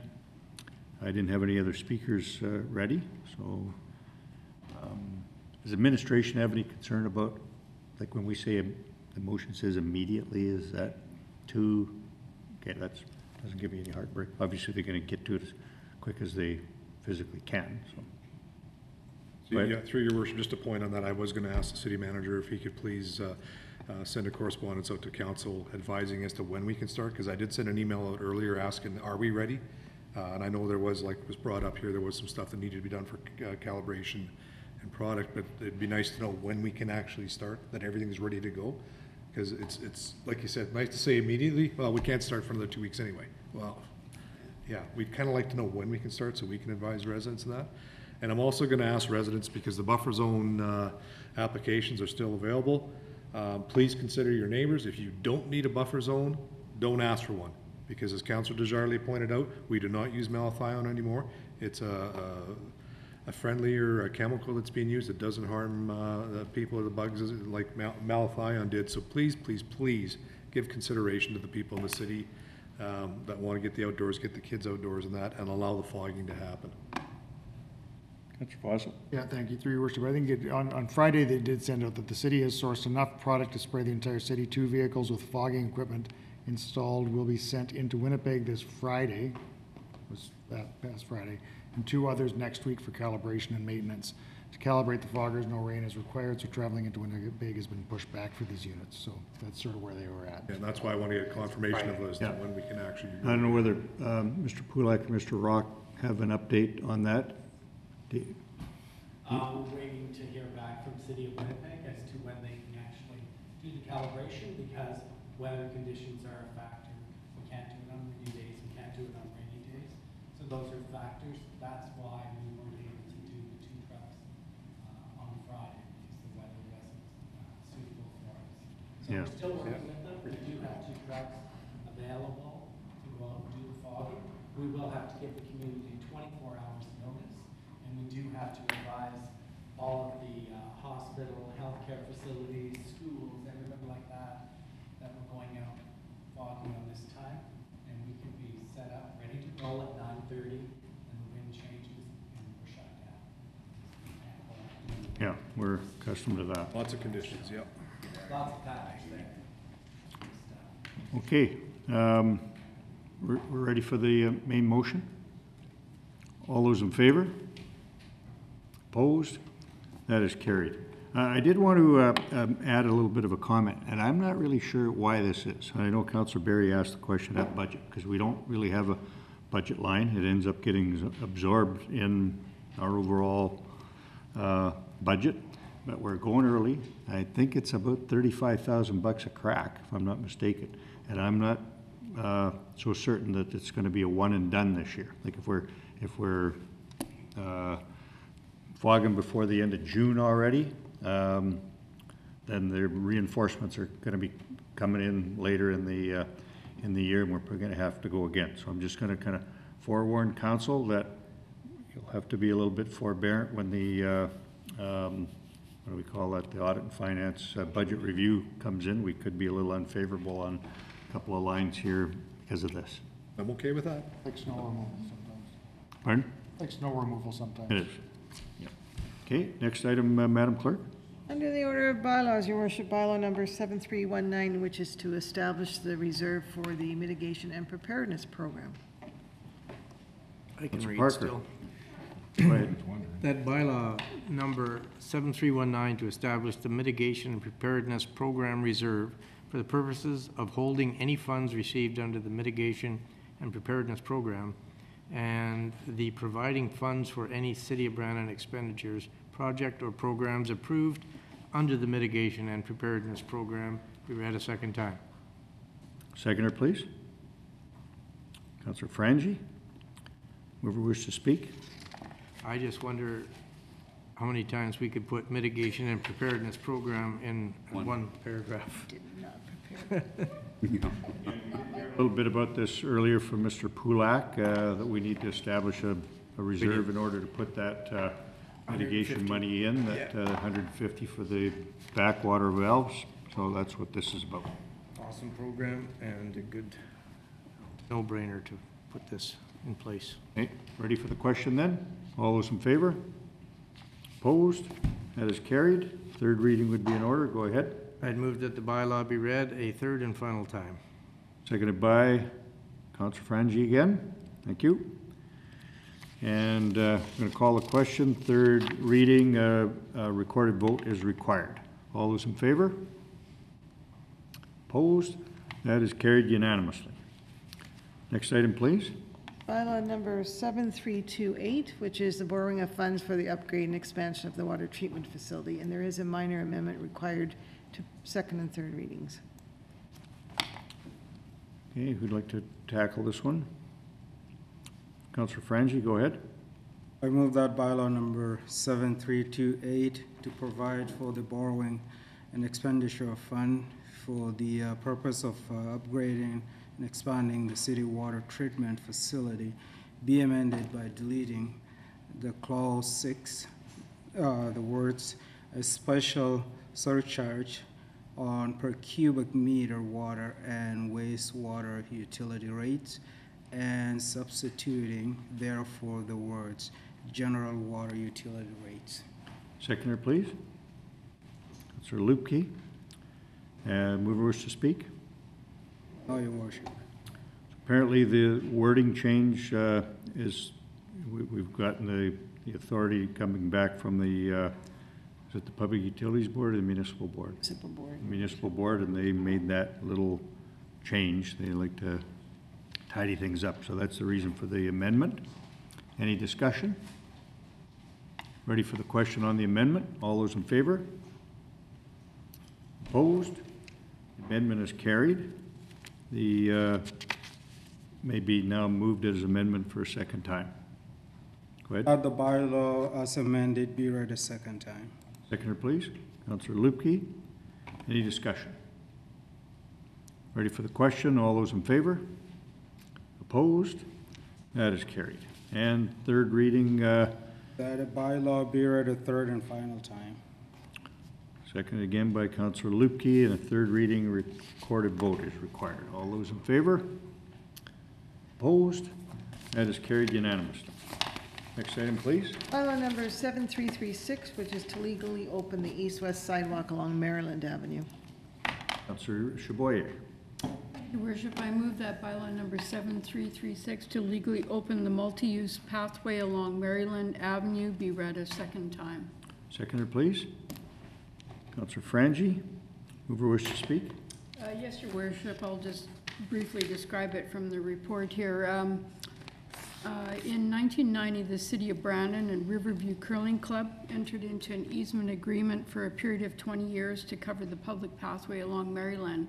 In exchange for the easement agreement, Riverview uh, received the north-south lane um, with the understanding that the city may legally open the pathway lands at its sole discretion.